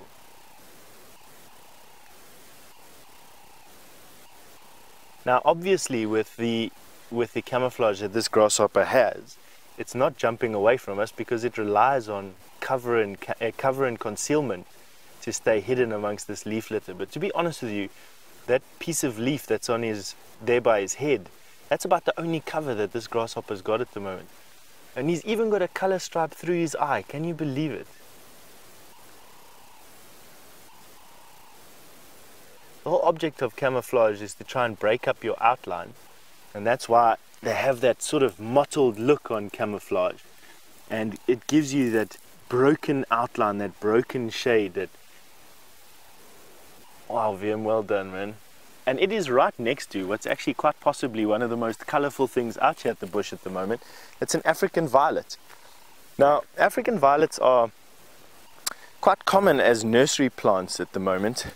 You're finding them almost all over the world in gardens. They're grown quite easy, but here you're looking at a, an African violet in its absolute home range. This is exactly where it should be growing. Have a look at that. To go from something that's staying its best to stay hidden to something that is trying its best to be noticed. And as you can see that they are angled up towards the sun and that's because the type of insect that it attracts is a flying insect. So they're pollinated probably by either flies, moths or butterflies and they need to from the ground they need to show a picture, a reflection up into the sky. A lot of the insects see into the electromagnetic spectrum much wider than what we can. And funny enough, some seabirds do as well. So a lot of insects see into the infrared and the ultraviolet portions of the electromagnetic spectrum that are excuse me, that are lying outside of the visible light spectrum. So of the electromagnetic spectrum, we have a portion of the light or of that spectrum that's visible light, that's what we're quite sensitive to.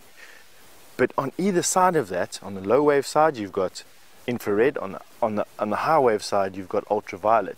And animals and some birds can actually see into those spectrums. Isn't that amazing? Things like, there are also some oceanic marine creatures that can see into the spectrums as well. But this, what you're looking at here with this, with this, with this African violet, it would reflect um, not only color, which is what we can see, but it also reflects ultraviolet, and that'll be attractive to different things.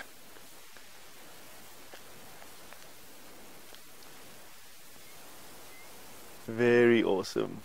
And then Viam, I found another one of these locusts. It's amazing when you just stand still. I mean, even in this, like I was saying, this barren wasteland, we've got another stone locust right here. And this one's different from the one that we've just shown you. You're going to have to come around the other side. If you go stand over there, it is right here. Have a look at this guy. Different, obviously, it doesn't have that same dark brown dark brown uh, covering. It's got a lighter brown covering and is rougher. So this one almost looks like a rock. Have a look at that. That is a locust. Even his eyes are rough. No, no, his eyes are smooth. That's amazing. Stone locusts.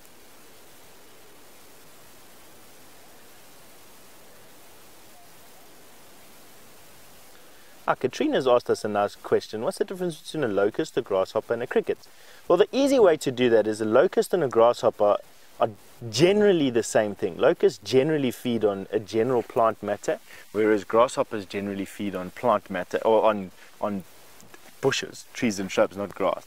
Um, and the crickets are nocturnal. So the two differences: grasshoppers can become locusts in swarm functions, Uh, but generally, grasshoppers are smaller, locusts are bigger, they also swarm, and crickets are nocturnal.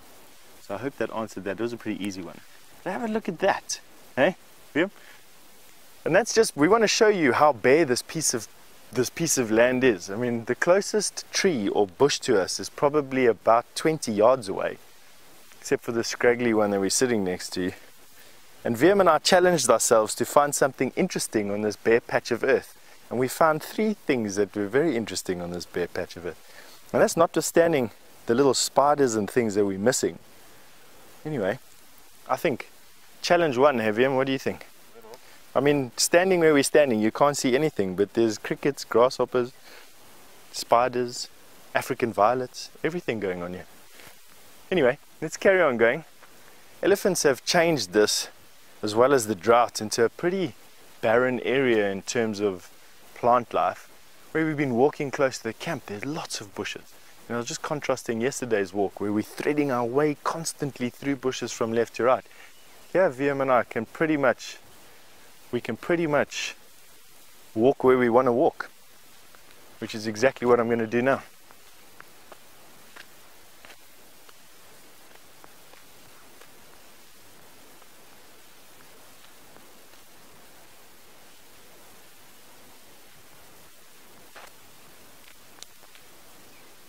Ah. James Richards has just asked me a fantastic question on why birds of prey, in particular large eagles, take so long to reach sexual maturity.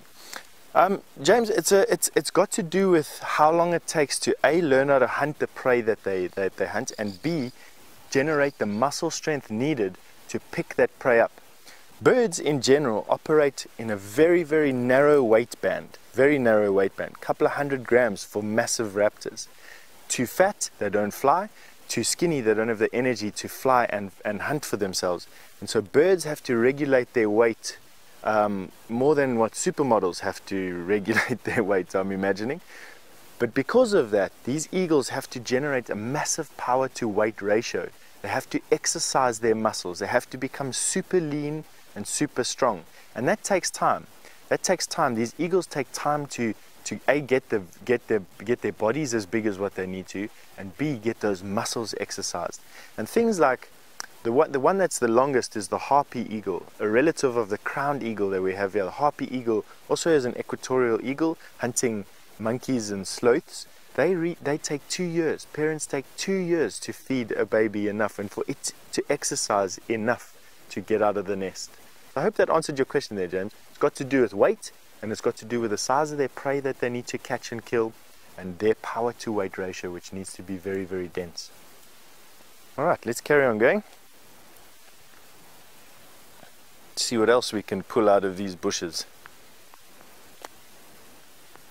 Now you might be wondering, what am I looking for as I'm busy walking through the bush here? I'm looking for movement. Things that triggers my interest is something that moves. And that's how I'm able to see things walking around in the bush and how I'm able to see insects and creepy crawlies crawling around in the in the grass litter. So as I'm I've trained, as I've walking through, I am training myself to look for movement. And as soon as I see some movement, I'll stop and I'll investigate whatever it was that gave me that movement. But while I'm doing that and looking for something else that's alive, we're going to be linking over to Sam, who's got an update for you.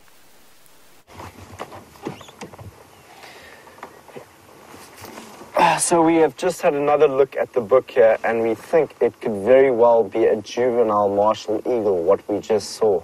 So that was an incredible sighting from a distance. I mean, we said that it, it was, it was, first we said it could be the brown, I think it was a black-chested snake eagle, which is that one over here, just because we could quite significantly see that white underbelly there. But then we thought, we had another look, and it could also very well have been the juvenile martial eagle. So that's fascinating to see that. And what's so cool about martial eagles is they can grow into really, really big looking birds. And the biggest recorded kill that they've made is on a duiker, which is around 37 kgs, a 37 kg duiker, which is really, really interesting. I mean, one day we might just be sitting watching a martial eagle and a duiker might run past. I often have those fantasies to see wildlife in its rawest form. I love eagles. Eagles are really, really my favorite, favorite. Well, just I love watching an eagle, so it just makes me quite happy, just purely because of my, my experience that I've had with the black eagles in Cape Town. Just fascinating, and they've just got such a different kind of cool. There's. So we've just spoken about how martial eagles might be able to kill something small, like like a common duiker. So it could also quite easily kill one of these small little steenboks. That was cool, hey? You see how quick they can run and they bounce like that. That is the agility that they have to get from any predator that might be lurking around these bushes. Nice little steenbok. So it's always great to spot an eagle in the distance there. And much like Steph was saying on Bushwalk now, when looking in the bush and looking for any kind of movement, that's your best sometimes your best way of finding something. You just look and you can hear or see movement. So we are now on Shabam Road. We're going to continue down towards Little Gowrie to see if there's any tracks there of, of shadow that might have crossed over.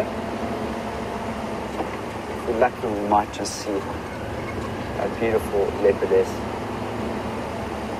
This is where exactly where I was with John a couple of weeks ago and we, were with Karula. Karula drank here at the pan that's next to us. And she drank and she carried on off down the road. And it was just such a, special sighting because it was my first time with Karula. I was very, very nervous. First leopard I'd seen in two years, one and a half years in the bush, and it was the beautiful looking Karula. let's have a look around here to see if we can see anything, any tracks that might be lurking around this area.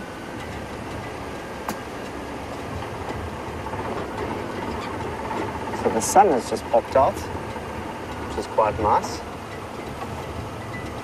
Just see if there's any tracks that might be coming out of Gowrie. Quite a few elephant tracks. Actually, a number of them.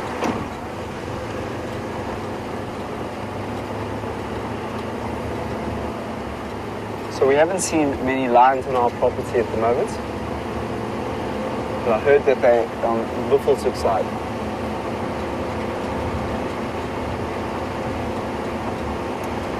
Sandy from Canada is asking, would a female leopard, you know, go to a male when to when protecting her cubs?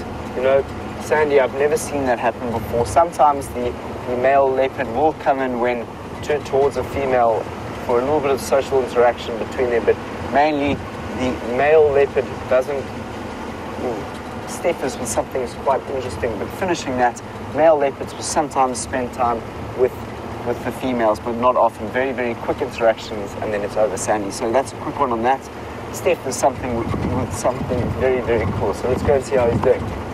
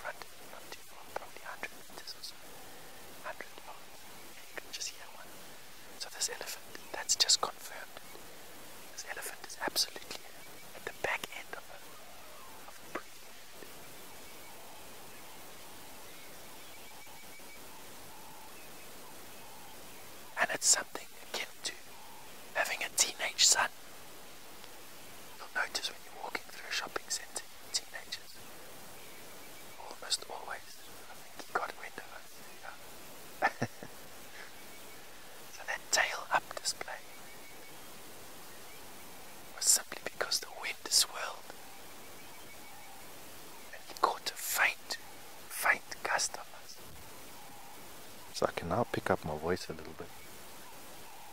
What we're not going to do is follow him into that thick bush. He's obviously alerted to our presence. Not too bad. I think he didn't see us at all. He just got a little bit of a gust of wind from us. And it was because the wind died down.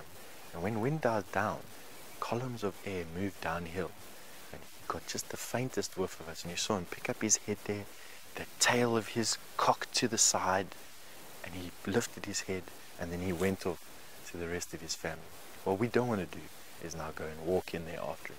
It's an alerted elephant. It's thick bush, not very much cover. And we had a brilliant sighting. We're going to pull out and we're going to go and see if we can see something else too.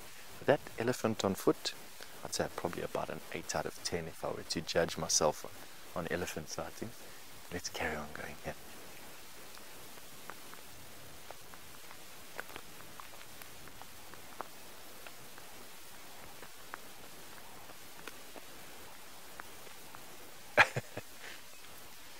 So Wild Earth Girly has just asked me if I could find her a spider. And yes, Wild Earth Girly, while I was busy trying not to get squashed by an elephant, I was not looking for a spider. But here's one right here, just for you. A tiny orb-web spider, no bigger than the head of a pin. And we're going to see if we can get VM to look at it. The wind is gusting terribly. Can you get him there, VM? There we go. Now that is tiny. To give an example, I'm going to put a grass head of a grass stalk behind it. And you can see that even just the faintest movement of my hand is causing massive shaking and gyrations. Tiny little orb-web spider. so I hope that that answered your question there, Wild Earth Kelly. I don't know what spider it is. I know it's a it's an orb-web spider. You'd need a magnifying glass to try and get any diagnostic features there, and I hope you like that. Anyway, we're going to link back to Sam. He's got an update for you.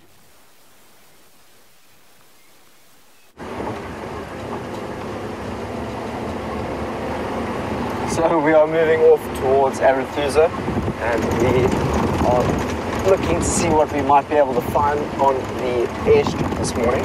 We just found out that those lines are definitely on the Buffelshoek, around Buffelshoek cut line going into Buffelshoek. So we won't be able to see the Nkuhumas this morning. But that gives us the opportunity to maybe go find another jackal on Arathusa, or potentially anything else that might be lurking around there. Maybe we'll have the Secretary Airlines again this morning. It's quite bumpy over here we drive. So we've had quite a fantastic morning, all sorts of different things. We're trying to see if there's any tracks around here.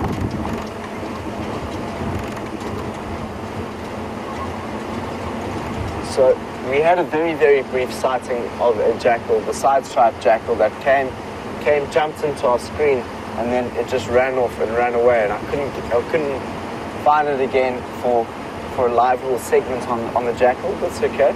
I was so excited. I was, Jandre, how excited was I? I couldn't even speak properly. I was like, it's a jackal. So that was a very, very exciting experience to see the jackal. But let's go and find one on Arathusa. Maybe we can go and see one here. Might just find one on the plains.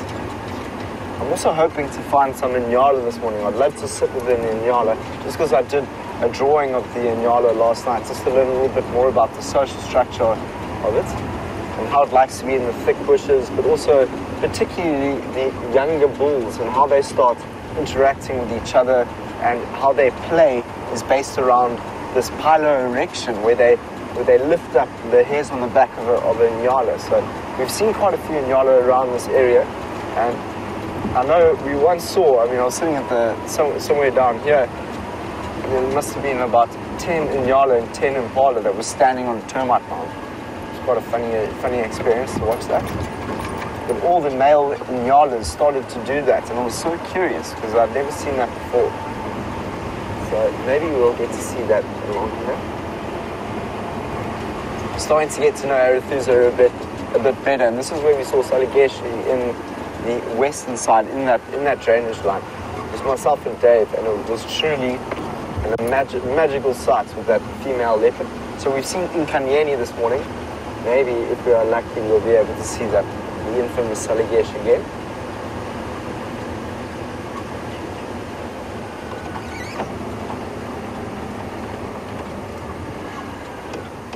So let's slowly move towards those plains. So, I mean, how incredible was this morning? We even had we had reports that the wild dogs were moving onto wild plants. So, well, not wild plants, Cheetah Plains. So Brent could have had three leopards and wild dogs running around Cheetah Plains. It's incredible how they can work sometimes. Eh?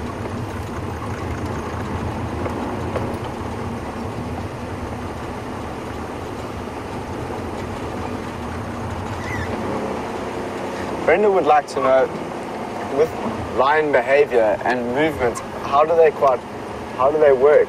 Well, interestingly, the the lions don't follow a kind of food pattern. They, I mean, they will go to a place where they find they can find food, but it's more territory that they're looking for. So of course, food will be food and water will be in in in in it will be a better territory if there's more food and there's more water, basically. So the, the, the male lion's are always trying to find the most dominant, the best access to land, and when it gets that land, it'll then territorial mark. So walk that land a number of times, mainly during the night time, during the nocturnal times, and in between walking and scent marking and all the different plants and trees around there, it'll also give off a nice strong roar. That's to let other male lions know that that is their dominant area, but it also is a way in which they communicate with their other coalition, other males in that co coalition. The other night we actually saw that. We saw a male lion roaring to another male lion that was on the other side of Buffelshoek which was the other Birmingham boy, which was just a fascinating thing to see. So, Brenda, of course, food and water is a very, very important part in terms of developing territory, but mainly when they're walking around at night time, it's not about looking for that food, it's also about defending the area where that food is. So that is an answer to that. So we're about to come to the open areas, well, to, to the airstrip now and potentially we might be able to see something quickly. So let's, let's pay attention when we get onto that open area. I'd love to see that secretary bird again. I know that we don't see the secretary bird often. But it would be nice to see it again. Quite a different morphology in this area in terms of the way in which the land is. There's just some impalas that are in front of us here. Well, a male and some females. So we saw one lonely male earlier. Now this is an impala with a couple other females. So it's holding the, this harem together. As I said, said a few times, is that the, these male impala need to be careful because while they're trying to look after these groups of females that they have, they don't have time to groom themselves and look after themselves or even browse because they're trying to mate with all these females. So it makes them very susceptible to the dangers of the bushveld, such as the predators, lions, and leopards. So they need to be quite careful. So let's continue on towards these towards the airstrip. Let's see if something might be lurking around there.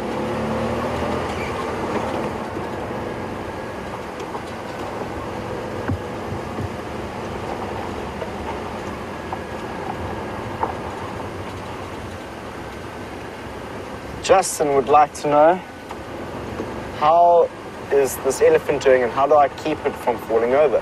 So I think you also asked where did I get it from, Justin? Justin, it's actually my dad's little elephant. My dad is also very interested in the bush and all the beautiful things that are around here. And I, yeah, it was in my room and I took it on my travels down to, to this area because I live quite a, quite a long way away from here, Justin. I live in, in Cape Town. And so I came down with the elephants and I've decided to put it on my car. And uh, also my best friend, his name was Mike McMillan, and he loved elephants and he passed away when I was around 22 years old. And whenever I'm with an elephant, it reminds me of Mr. Mike, my really, really good friend. And it, why it doesn't fall off is because I put some Prestik over there and then I put him on there. So Prestik is a type of, I don't know if you get Prestik in the States or if there's another name for Prestik.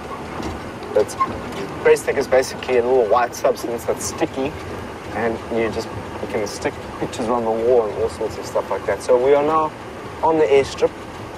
Let's go and see if we can board the airlines of Secretary Airlines. Maybe we can find a secretary bird.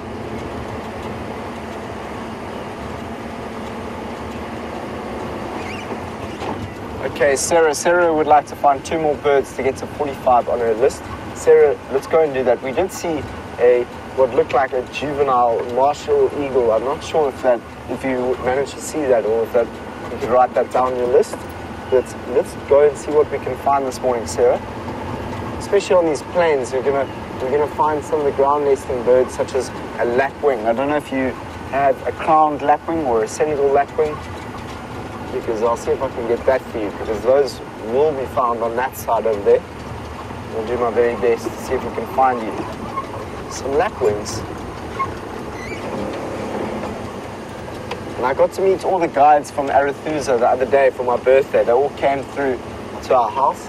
So I know the guides a little bit better now, and that's really nice to know the other guides that are driving around this area, just because they, you know, you can form a relationship, get to know them a bit better, and they can help you with the different sightings that you can find here on Arathusa. So the, the open areas has some impala that are also grazing us. We've seen a few impala.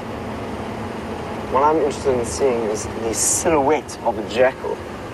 So I'm just looking out into the distance there to see if I can find the silhouette of a jackal walking around.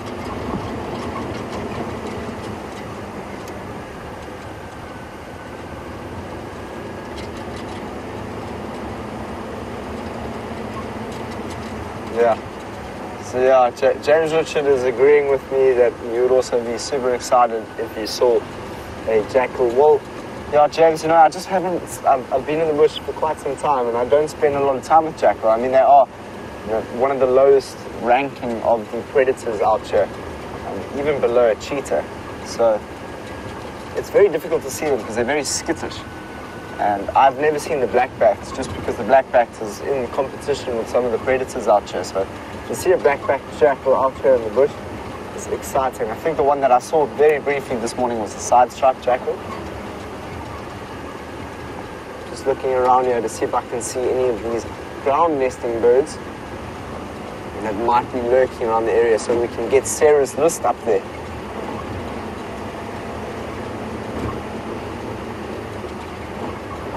At the moment all we've got is some impala, but they're not birds.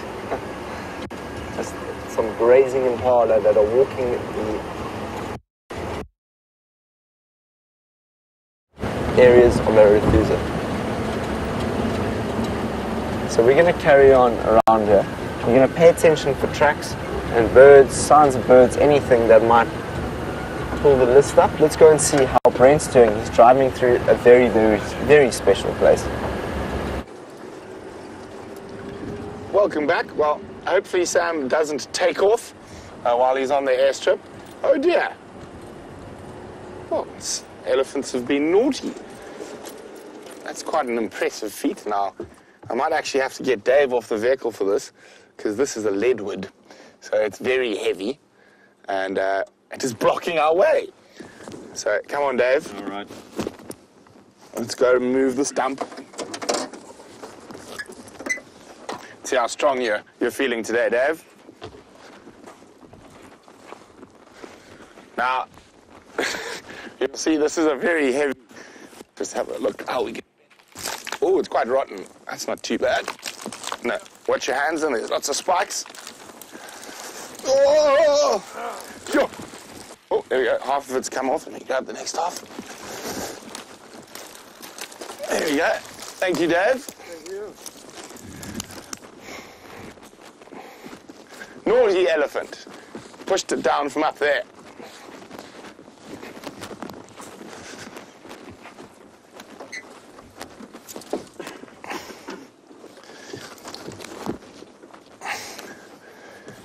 There we go. We can continue on. So, Dave and I are in the Mawati riverbed, and uh, we were hoping there might be signs of Karula crossing, but I've heard now she's still to the south in the Mawati River, but still to the south of us here. So we've decided we'll just take a little cruise through the through the river, see what we can find. Always some good birds, and actually there's a massive amount of African monarchs all around us. I think that's the best one there. And he's keeping still with his wings open. The African monarch butterfly. And there's a lot of them here. There are a few little sedge flowers still in the riverbed, but this is always a good spot for butterflies down here in this particular stretch of the Moati. We've got this very sandy soil and quite a few little plants that like to grow here that attracts the butterflies. There we go, there's another monarch. And the only, I saw one joker flutter past, but most of the butterflies here are all monarchs. Okay, beautiful butterflies. Now, they don't have the mass migration like the American monarch. And they are one of the butterflies we'll see throughout the year. So some butterflies we'll only see during the summer months. Uh, the monarchs we'll see throughout the year. Oh, pretty, pretty.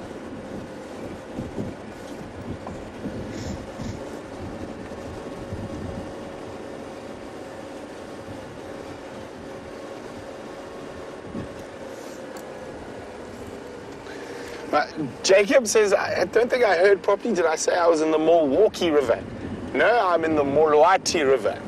Uh, the Molwati, and I'll, I'll Mol, M, if I remember correctly, M, Molwati, uh, M, W, U, T, H, I, Molwati River.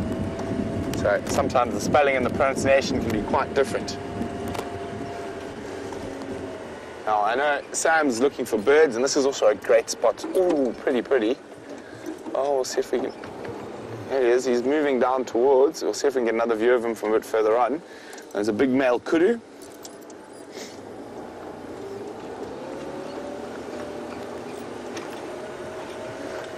So we've made our way back from Cheetah Plains. we checked around the Djuma Dam area. We did have tracks of a single lioness, but unfortunately they crossed into Mala Mala, and also our signal wasn't great there. But if there was even the slightest chance of lion cubs, we had to go have a look.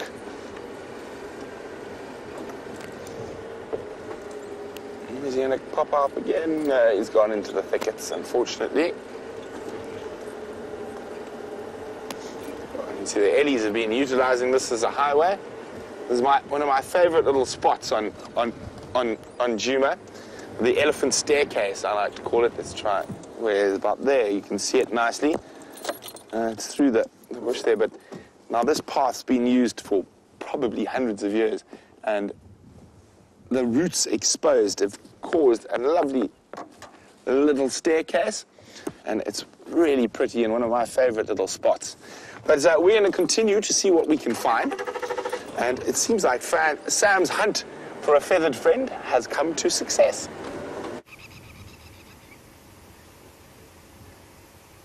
So Sarah, we've just found a bird that is almost camouflaged. Can you see it? It is walking around here, slowly but surely. It, what I think it is is a pipit from what I'm seeing from here. You'll just see it on, on your screen now as it walks. So let's get visual of it. I can see a clear crest. I need your help, Sarah. Can you see the, the white crest on top of the back, on top of the eye there? It's got a dark eye. Can we see? Can you see the, the beak or the mandible? Because that's going to tell us a lot. If it's, if it's got quite a pinkish looking mandible, then it would be a buffy pipit. Could be a buffy pipit. But it seems to be a pipit. Keep looking at all the different characteristics of it. It's got streaks on, the, on, on its breast there.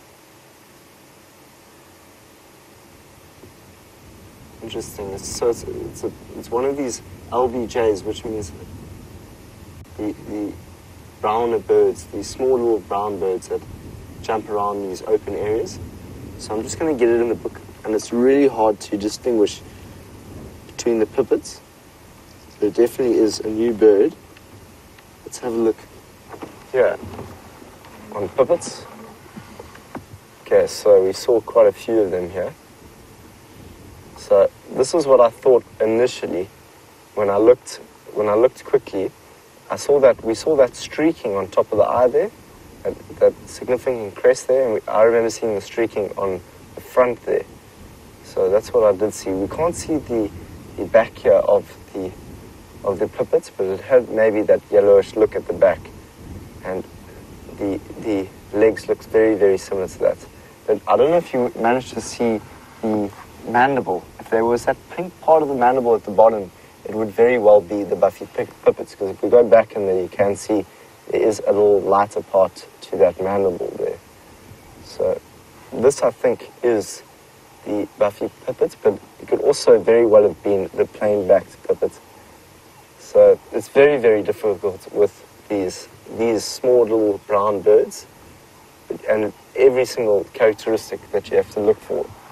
So it can either be the plain back pipits or the buffy pipits. So I'm gonna I'm gonna say I'm gonna go and end off with the buffy pipits. So that might help you there. Sarah, I'm not sure if you have that one already, but there is another bird that is here somewhere. And that might just get you to 45 this morning. It's the crowned lapwing. So we're just looking for it at the moment. There we go, there's the crowned lapwing.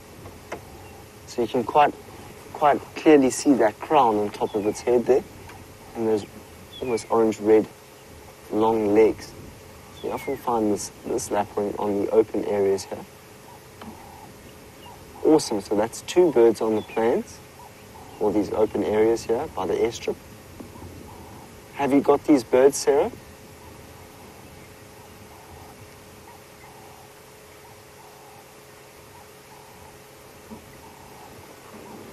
Just to let everyone know, um, in Final Control, they've lost internet connection, which means that they're not able to receive any of your messages while they're sitting in Final Control. So I just needed to relay that message to you. So we're not sure what you're saying. Maybe you have already seen those birds, Sarah, but we'll find out soon enough if you haven't. But let's head off on down the airstrip, see what else we might be able to find this morning.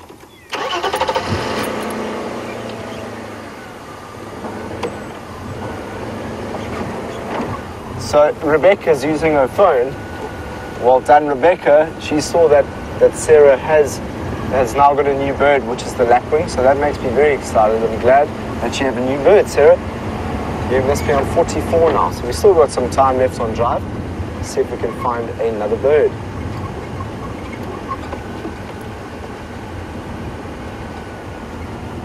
You've really, really got to go looking when, when you're looking for birds. You've got to use your eyes to, to spot the, the birds that you don't normally see. I mean, you see quite a lot of hornbills, You do see those lapwings quite often, but when we're talking about those birds that like to be inside those thickets, like five finches and indigo birds, and the small, small ones are very, very difficult to find. But when you find those birds, it's just the most incredible thing. Yeah, I get very, very excited when I see a new bird. We're just looking all over this area, see if we can find one. But this is often where we see the secretary birds. So there's no secretary birds here this morning. Fascinating birds, very, very long legs and a wingspan that's huge.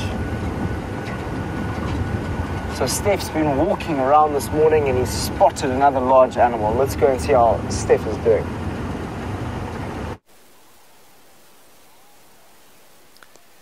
As you can see, the bush where we are now is much thicker than the bush where we were in a little bit earlier. And we've got a big elephant bull in the frame there. He's probably about 50 yards away. The wind is swirling around us at the moment, making it actually quite difficult to decide on whether or not it's safe to approach this, this bull. Currently the wind is sort of blowing into our faces, which is good. But it was blowing from us to him just now. And that's why he's actually standing in that in that thicket. You can see his ears lifted up above the level of his shoulders. There he drops them down. And that means he's calmed down a little bit. He didn't actually see us. He just picked up the faintest whiff of our scent. And that was as... Let's see if we can get a bit closer. Come guys, quickly. Just... Yeah, watch out. We're going to try and get a bit closer to show you.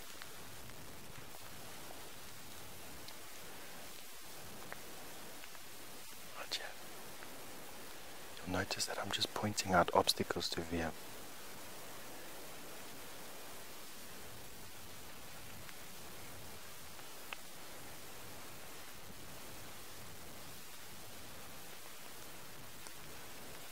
Got to be so careful with elephant.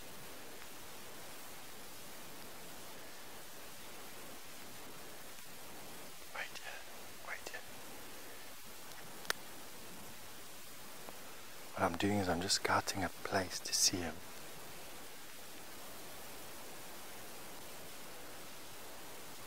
He's very close now. There's not really a place to see him over there.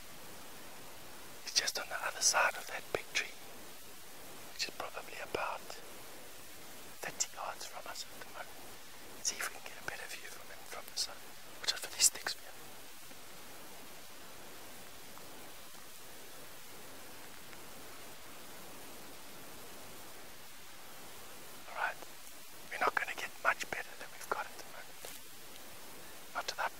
ourselves in some danger. Yeah, you're going to have to focus through those bushes to see. So those bushes on the other side of it clearly. And is the pretty much the grey filler that you see behind that bush. Very difficult to see. But it gives you some idea of how a 4 ton, 8,000 pound animal can hide in virtually nothing.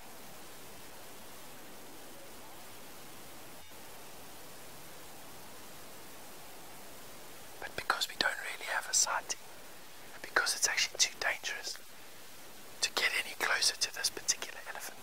We're going to pull out of here. It's not really a good visual. I send you through to Sam who's got something that won't kill him.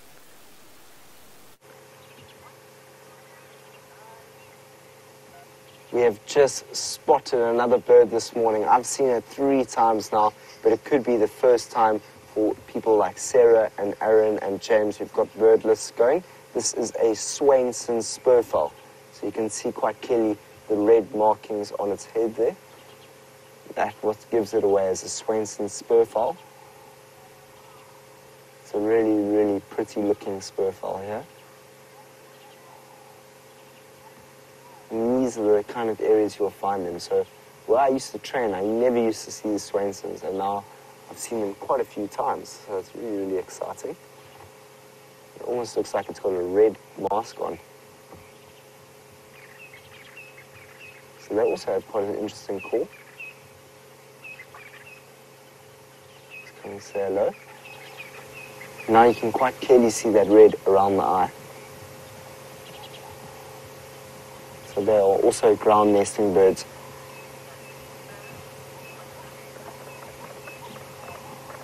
And if we have a look at the back of the legs, we can also see the spur that, has just left us now. So that was very cool to see the Swainson's francolin. We also saw another ground nesting bird, which was the crowned lapwing.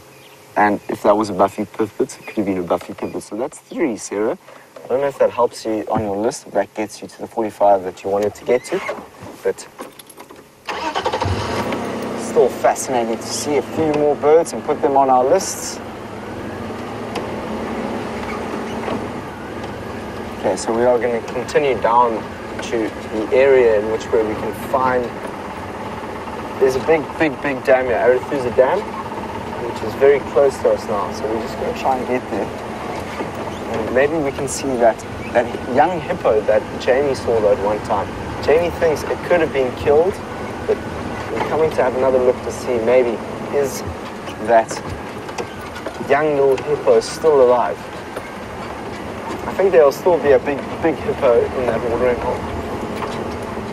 And I think it's the biggest one in all three areas that we go to, from Arathusa, Djuma, and Cheetah Plains. This is the biggest watering hole, so we might be able to see a new bird in there. Water nesting bird. So we've seen some ground nesting birds.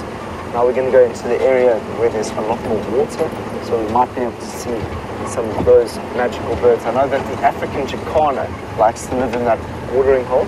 I'm Not sure if anyone has the African jacana. Very, very beautiful bird that has quite significant streaks of blue on its face.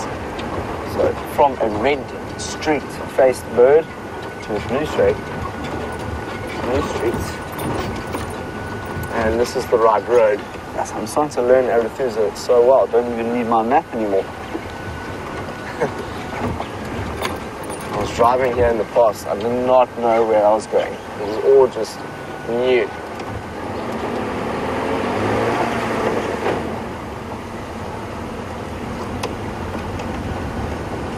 So I just got an update from Louise saying that I know Arathusa than the other presenters. I don't know, Louise. I know that Brent comes out quite often. James also.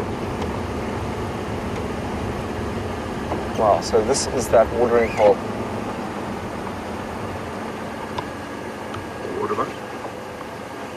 Let's just seeing what could be around here. We've seen a watering water buck in the distance there. Beautiful. That's probably where you would find a water buck, very, very close to water. So it's not unusual to see that. I'm now looking around here to see if we can find a type of bird that maybe some of you don't have. Ooh, there's a bird right here. Those were oxpeckers. Those were oxpeckers that just flew off. And let's just look in this watering hole. There he goes. Okay, that's a ringneck dove. Is there a hammerkop? Is there? There's some birds over there. There, the jacanas. Just to the right of us, sitting left there. There, flies. They're starting to fly now. Those are two African jacanas. So hopefully they'll settle. Okay, so we, they didn't manage to settle, but we can see them quite clearly, and it's almost better to watch them fly. These are polyandrous birds, which means that the male will rear up the chicks and live in this area, and the females will move between the different watering holes. So it's very, very different to a polygamous uh, kind of social structure. But let's actually quickly have a look at an African jacana, just so that I can show you uh, the difference. So jacana.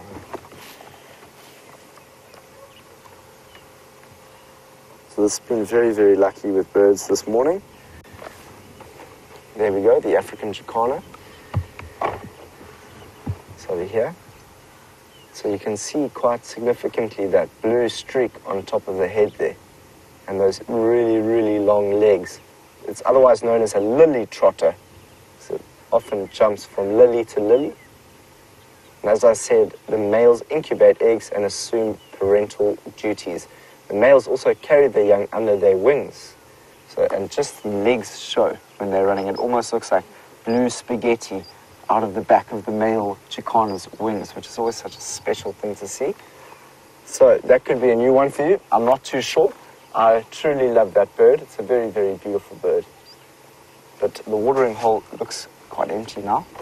So we're going to head off into this direction towards that beautiful looking waterbuck that's just there close to the water and see what we might be able to find in Arathusa.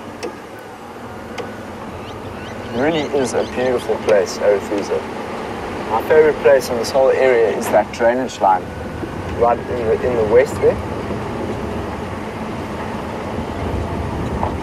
It seems so ancient as you drive through there. See, so we've just seen one water, water nesting bird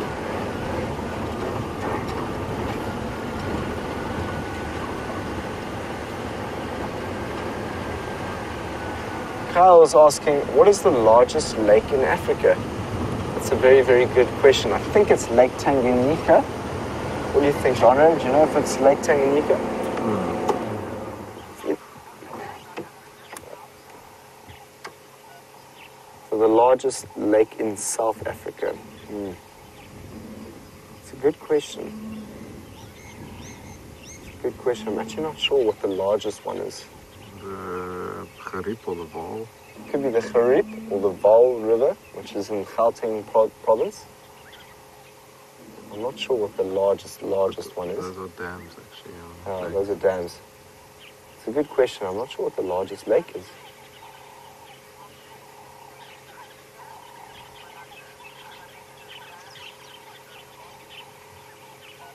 So I just got an update that it's Lake. That was that's how I say it. I'm not sure how you would spell that. But it's in, Mpumalanga, Lake Chrissiesmeer. So look at this big waterbuck here. Beautiful looking horns. So it's a very good looking male. And I think he's done well because he is looking after this territory and looking after this area where it's very, very close to the biggest watering hole here.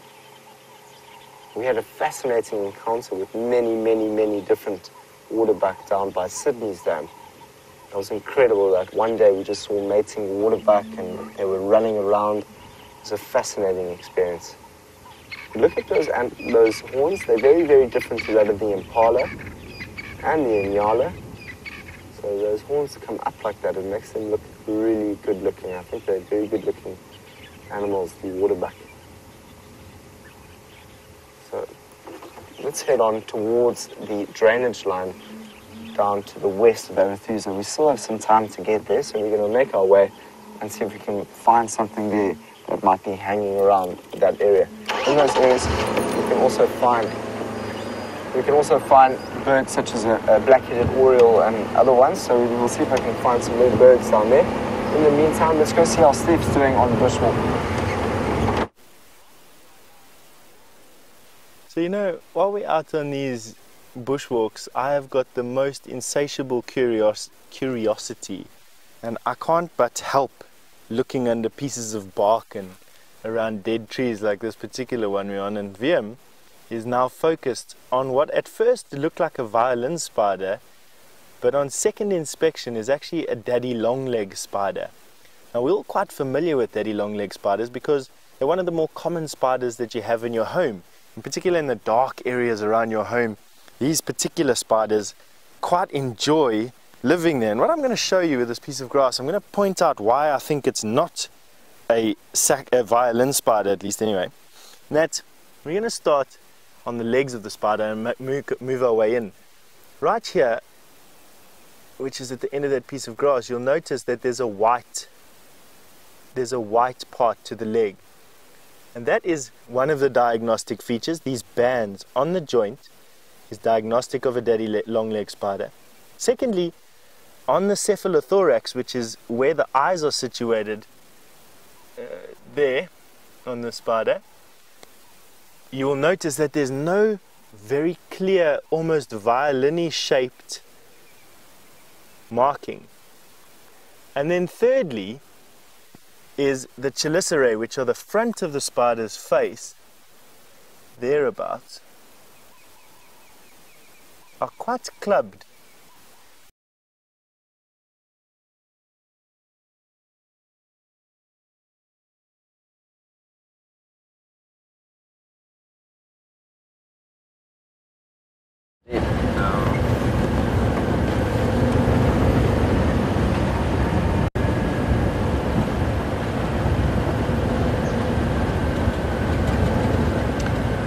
We are heading through down to the drainage line in Arathusa. We've only got half an hour left on drive, and we know that today is the fry up. Today is the fry up today, so we often well, we have our cooked meals on a on a Thursday morning. So if you're late sometimes back at camp, you might not get any of the food. And and I know Jandre likes his food, but I also really want to take you down to the drainage line which just takes us a little bit further away from camp. So I'm going to take you there. I want to see if we can find maybe, I want to show you where we saw Salayexe. I want to show you that beautiful drainage line. It's just an incredible place. I'm not going to go too slowly, so we'll see if we can get there in time to show you that beautiful place. Then hopefully we'll get some food still for Jandre when we get back.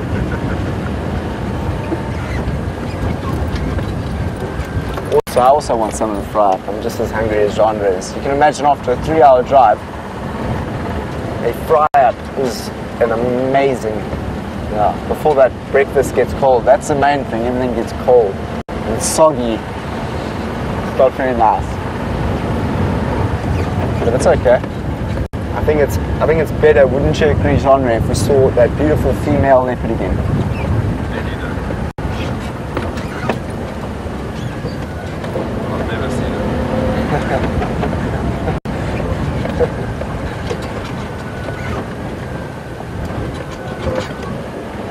So it's interesting coming down to these western parts of Arathusa.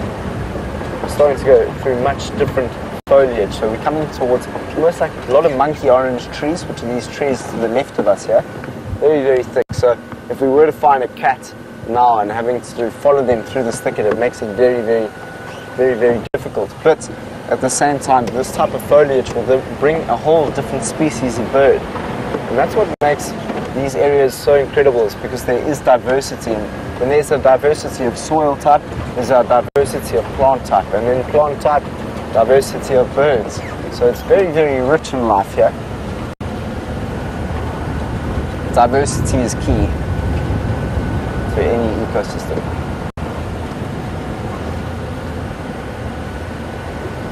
It's interesting just looking through this thicket. Maybe we'll find a warthog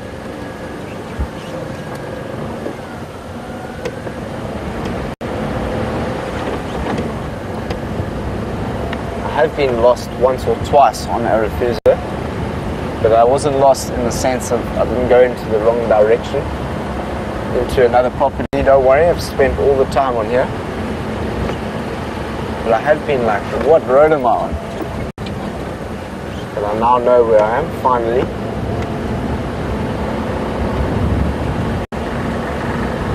also, I also found a leopard just the other day when I was tracking, or I think it was with Jandre, and we went onto the other side of Arathusa and it jumped off. So this is, wow, this is awesome. This is also where I was with Jandre the other day, and we saw a white-backed vulture, and I think that we've just found it again in its nest. Let's go nice and slowly. I'll get you a nice position of the Genre.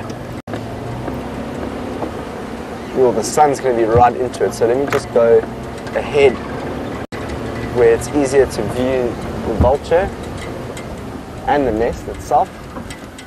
There it is. Awesome. So that is a white-backed vulture up in a nest in a tree here. And I did my homework from the last time that I was here, and I, I found out that the white-backed vulture, well, it breeds, it has one hatchling a year. So just one hatchling it has a year, and it's during the winter season. So we're actually coming towards the winter season. So they, they may very well, on top of that tree where that white-back vulture is, be a young chick, a young white-back vulture, which would be incredible to see one day. So myself and Jandre definitely come here as often as we can to see the development of this nest in the future. Potentially we might see the head of a young little white-backed vulture. And that's one of my favorite things to do is I used to watch a young black eagle growing when I was in the Cederberg Mountains and it's just fascinating to see how the elders look after their youngsters. There's a starling that just jumped into frame there. So it's been a it's been a morning of birds so far. So the white-backed vulture also has quite a hook in its beak and that would help it get to the kills and eat quite a lot of that meat as the lappet-faced vulture is very, very different that eats the skin and all of that. This vulture is going to be trying to eat the different flesh. So that's an amazing looking bird. So glad that we popped in and said or hello to the whiteback vulture. We're now going to head through to the drainage line as we don't have much time left and I really want to take you there. So let's head off.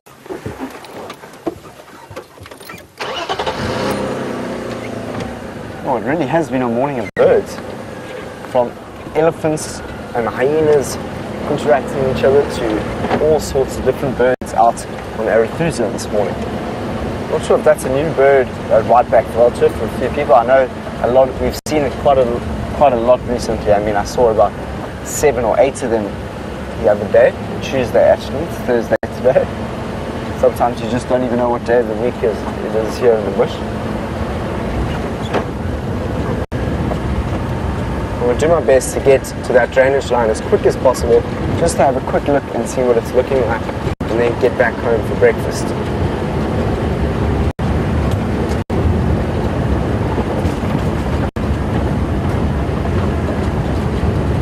There we go, we're very, very close. I can see the windmill, which is always a good sign that we're getting further, further west into Arathusa. And that ticketed in in a red paper. There's the there's the windmill. We something close. Let's go.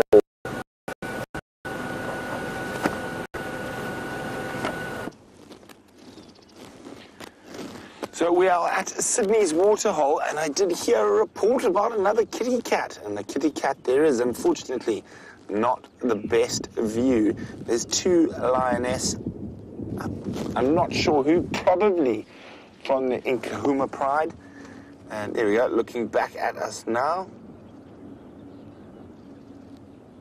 Unfortunately, quite far into Buffelshoek, but at least we can see them. And as VM says, a cat is a cat.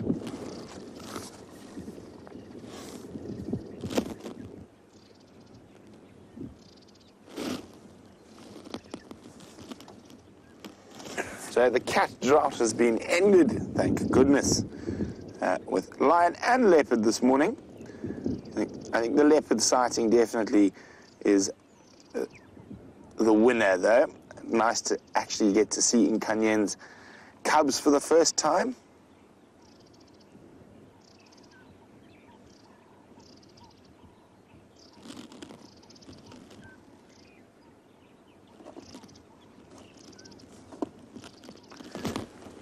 They are quite close to the boundary. What are they? What do you reckon? They're 150, 200 meters from us. So there's a possibility that they might decide to head back towards Djuma on the sunset safari.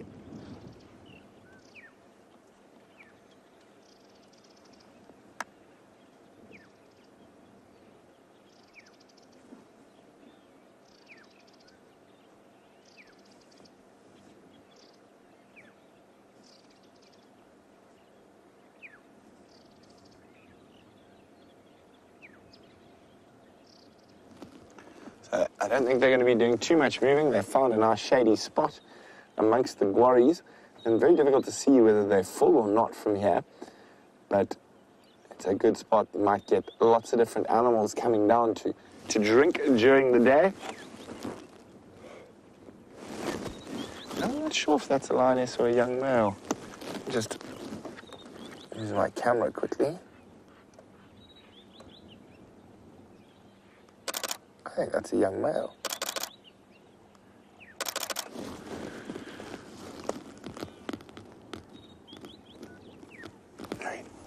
Lighten the photo up a bit. Sitting in the shade.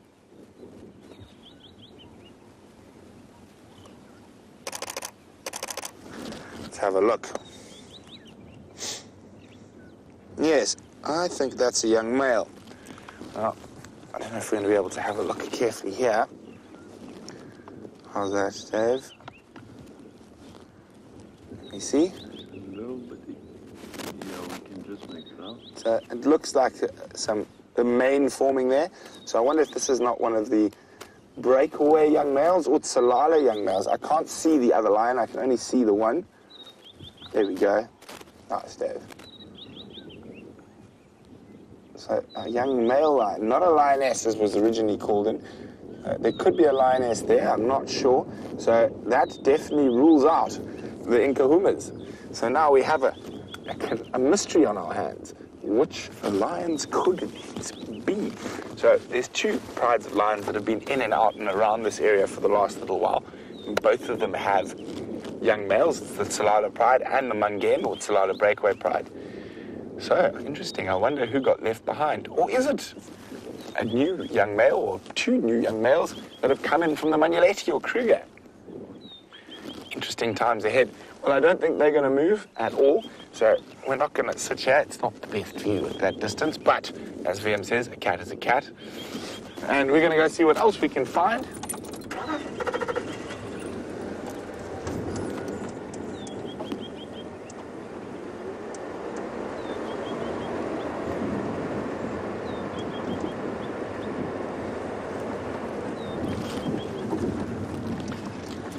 While we go see what else is around on Djuma, let's go see what Samwise is up to.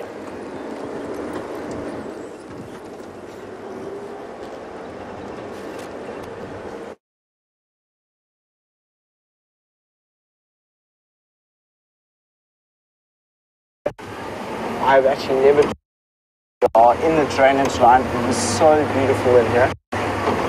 So many different we're back. Uh, it seems like Sam is in a very low signal area, so you're stuck with Dave and myself for the next little while. And we've got a juvenile bateleur.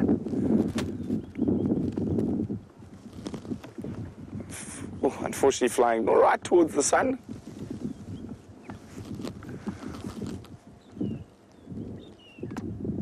Yep, turn right, right, right. There we go, away from the sun.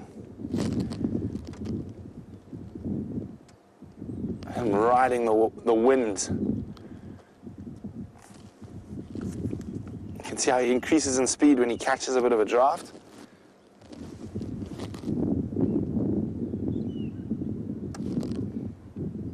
Oh.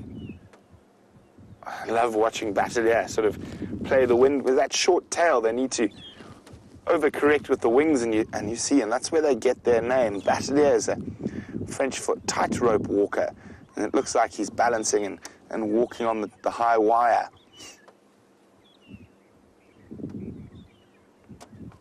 I'll let the young bateleur carry on searching for a morsel.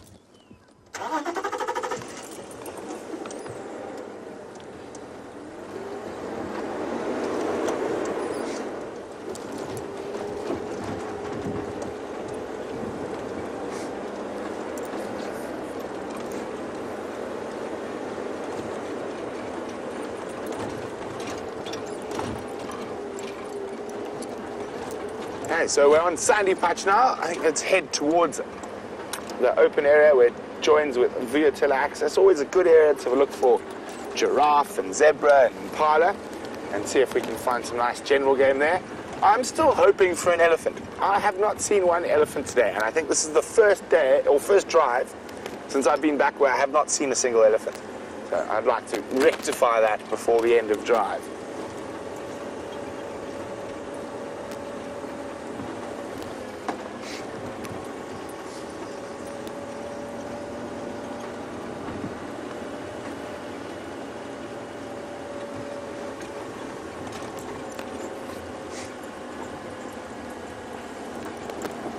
So James Richard is wondering, with antelope, uh, does the type of herd structure determine uh, a set breeding season for them?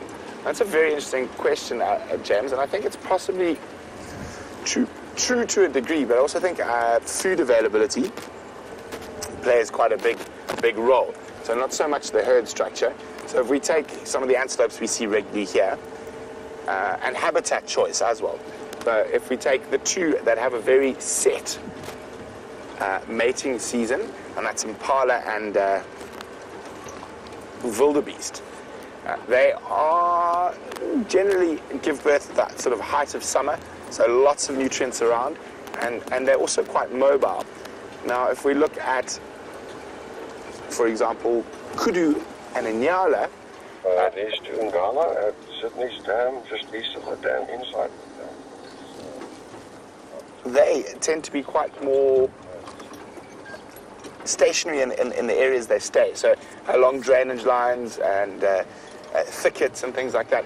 And also, quite often there's more of a food availability throughout the year in those areas that they prefer, like being browsers. So that could be why they don't have a set breeding season, unlike uh, Impala and, and, and Wildebeest. Now with Wildebeest, I'm, I'm quite confident it's very specific to do with, with when the best grass is around. And because Wildebeest are such, such a finicky feeder, I mean, they're very specialized to short grasses, and even amongst the short grasses, they'll pick and choose the best grasses. So I think they have that definite breeding season because of their very specific dietary requirements. Now, Impala aren't that specific. They feed off browse and graze and throughout the year. But they do tend to move between areas depending. So it could be that they have their babies while they can be as stationary as possible uh, with the most food as possible for the females to produce enough milk. So I think that's probably uh, got more to do with it. It's, it's more to do with uh, food choices uh, than, than anything else. Well, no giraffe out here. And no wildebeest, no zebra, but there are some impala.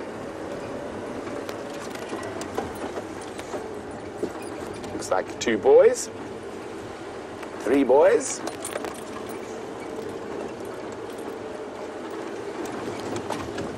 Oh, it looks like we might have a bit of head butting.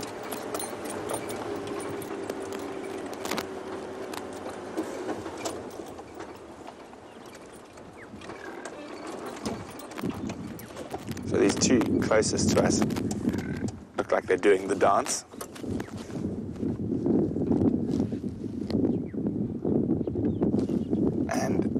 Ah, not so much. Now, interesting enough, the, the dominant male who's got all the girls at the moment is keeping a very close eye on these three males because they are three relatively big males. There's the dominant male down there.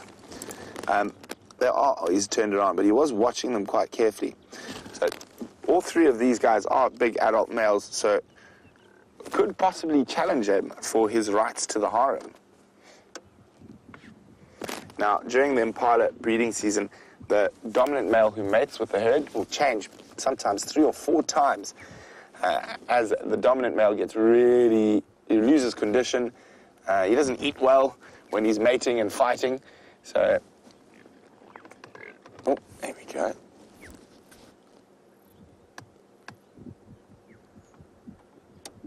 Oh, little.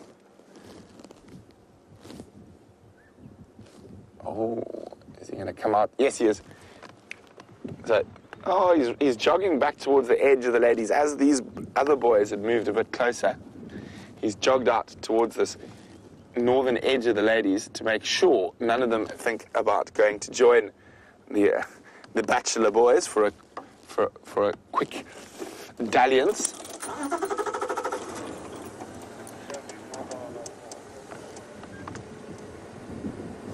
I still think there's a bit too much distance between them all uh, for anything too exciting to happen.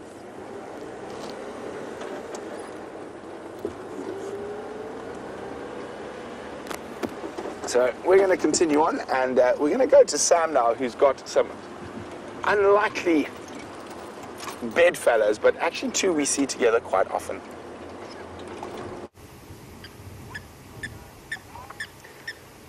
So we've just come across a really, really big hippopotamus with a small little terrapin on top of its back there. Which is very cool to see a terrapin on top of the hippopotamus's back. So we are at Red Dam in Arathusa. So we drove through the drainage line, but the, the signal was so bad. And as I said, the drainage line is where the rains sometimes come down and water will follow that path. And so we just drove down there and there was nothing much there, but we came across these beautiful looking hippo and terrapin. And there's another bird that's making quite a bit of noise around here. That is the black smith plover. So we saw the crown plover not so long ago, and now we're with the blacksmith. Have a listen to that bird call. So he almost sounds like a blacksmith.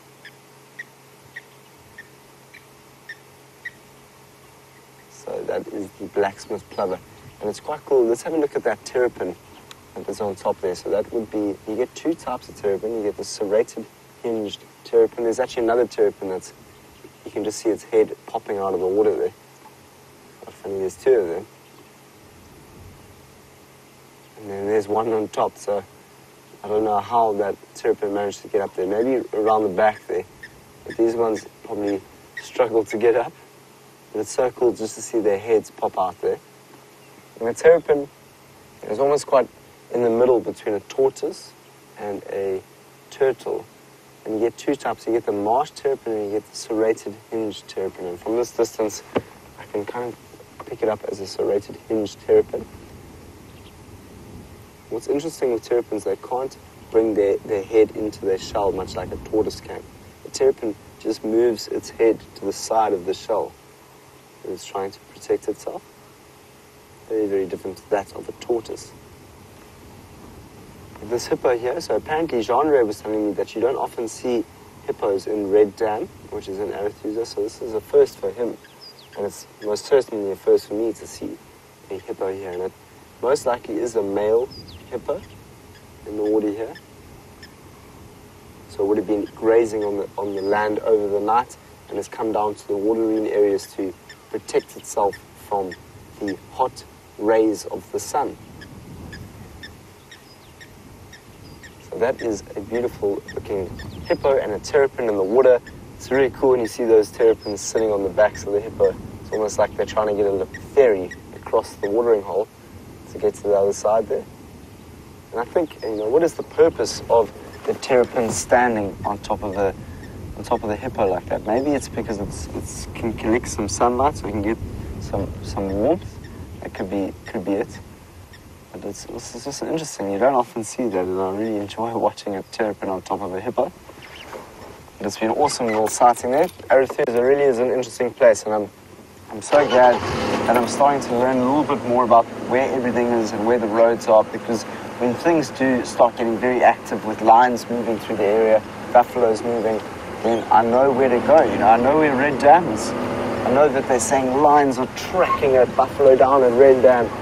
I can get in my vehicle and drive straight there. So the knowledge and the experience of learning more about cheetah plains and Arathusa is growing by the day, which is exciting and I've thoroughly enjoyed my last six weeks here. So I still have about two weeks left here. Apparently my brother might be surprising me next week in the bush, which would be fantastic. You can all maybe have a quick look at Tom. He looks very, very similar to me. And hopefully, I, yeah, I'm just excited to be with my brother. But other, other than that, we're going to end our drive now. It's been fantastic. We've seen quite a few different birds and we saw that great interaction with the hyena this morning. Jandre, thank you so much behind camera, always great. And thank you, ladies in FC. We'll see you all later for the sunset safari. Enjoy the rest of your days. Or nights, whatever it is. So I was hoping for some giraffe or some elephant around it, but nothing so far. Just some leaves falling from the sky. We have been seeing quite a few giraffe recently, so, and they have been really liking this sort of western edge of quarantine.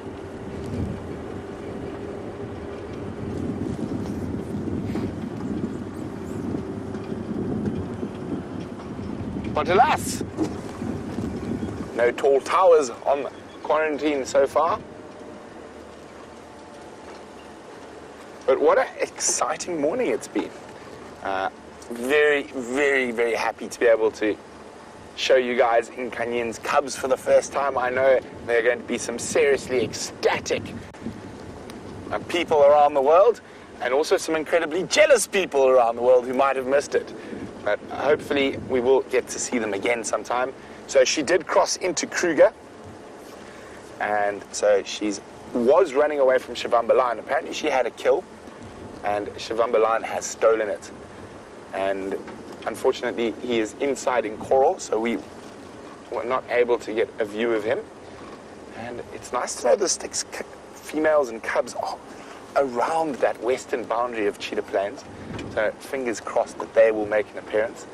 It seems like there are cubby, cub, cub, cubs everywhere at the moment. Shadow, Karula, and Kanyin, Styx Lioness. So very exciting.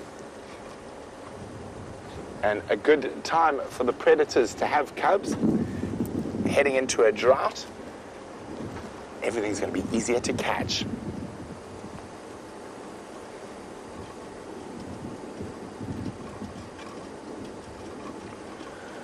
So Judy and Paige are wondering why Shivamba Lion should be a problem. Isn't he the father? Now, as a lot happens, and I think I've harped on a lot about this quite a few times, is we don't actually know who the father is. Um, we can speculate, but without genetic testing, we have absolutely no idea. Now, even male leopards that have possibly sired cubs uh, will sometimes kill their own cubs if they're unsure or if the cubs get a bit annoying around a, a kill. Uh, Imvula was a bit of an exception to this around cubs. He seemed to tolerate cubs far more than other male leopards generally do. Uh, one, we cannot look at this in a human way. It's sort of a nice little family unit. It does not work like that out here.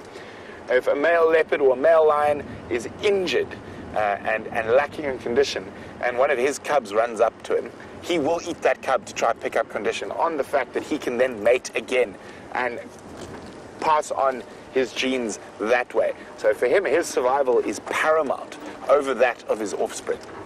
So we, we, we've got to remember this is not Disney. This is the real African bush. I mean, it is amazing that we are able to, to see it exactly how it is. There's no editing, there's no putting happy stories in place, there's no uh, Disneyfying of, of, what happens. What happens, happens. And, and that is one of, for me, one of the most amazing things about what we do. And it is an incredible, an incredible privilege to be able to share that with you guys all over the world. But we must remember, uh, life in the bush is tough, and we can't expect, uh, or we shouldn't put human emotion and human thoughts uh, into these animals, because at the end of the day, they are wild animals.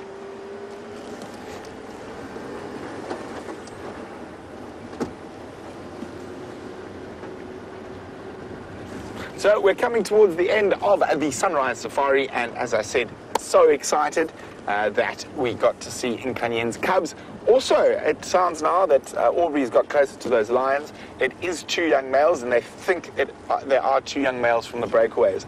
But I'm sure we'll be following up in a few short hours. Uh, hopefully, they do decide to head to the west slightly and come and join us on for the Sunset Safari. Other than that, Karula's still on uh, in Little Gowrie. I think she's still on that Impala kill. Birmingham's have finished their buffalo. Uh, two of them chased buffalo into Kruger Park last night. There's another on Chitwa Chitwa, and one is in the ether somewhere. So you never know when he might arrive. But to find out what's happening, join us on the Sunset Safari in a few short hours. Bye.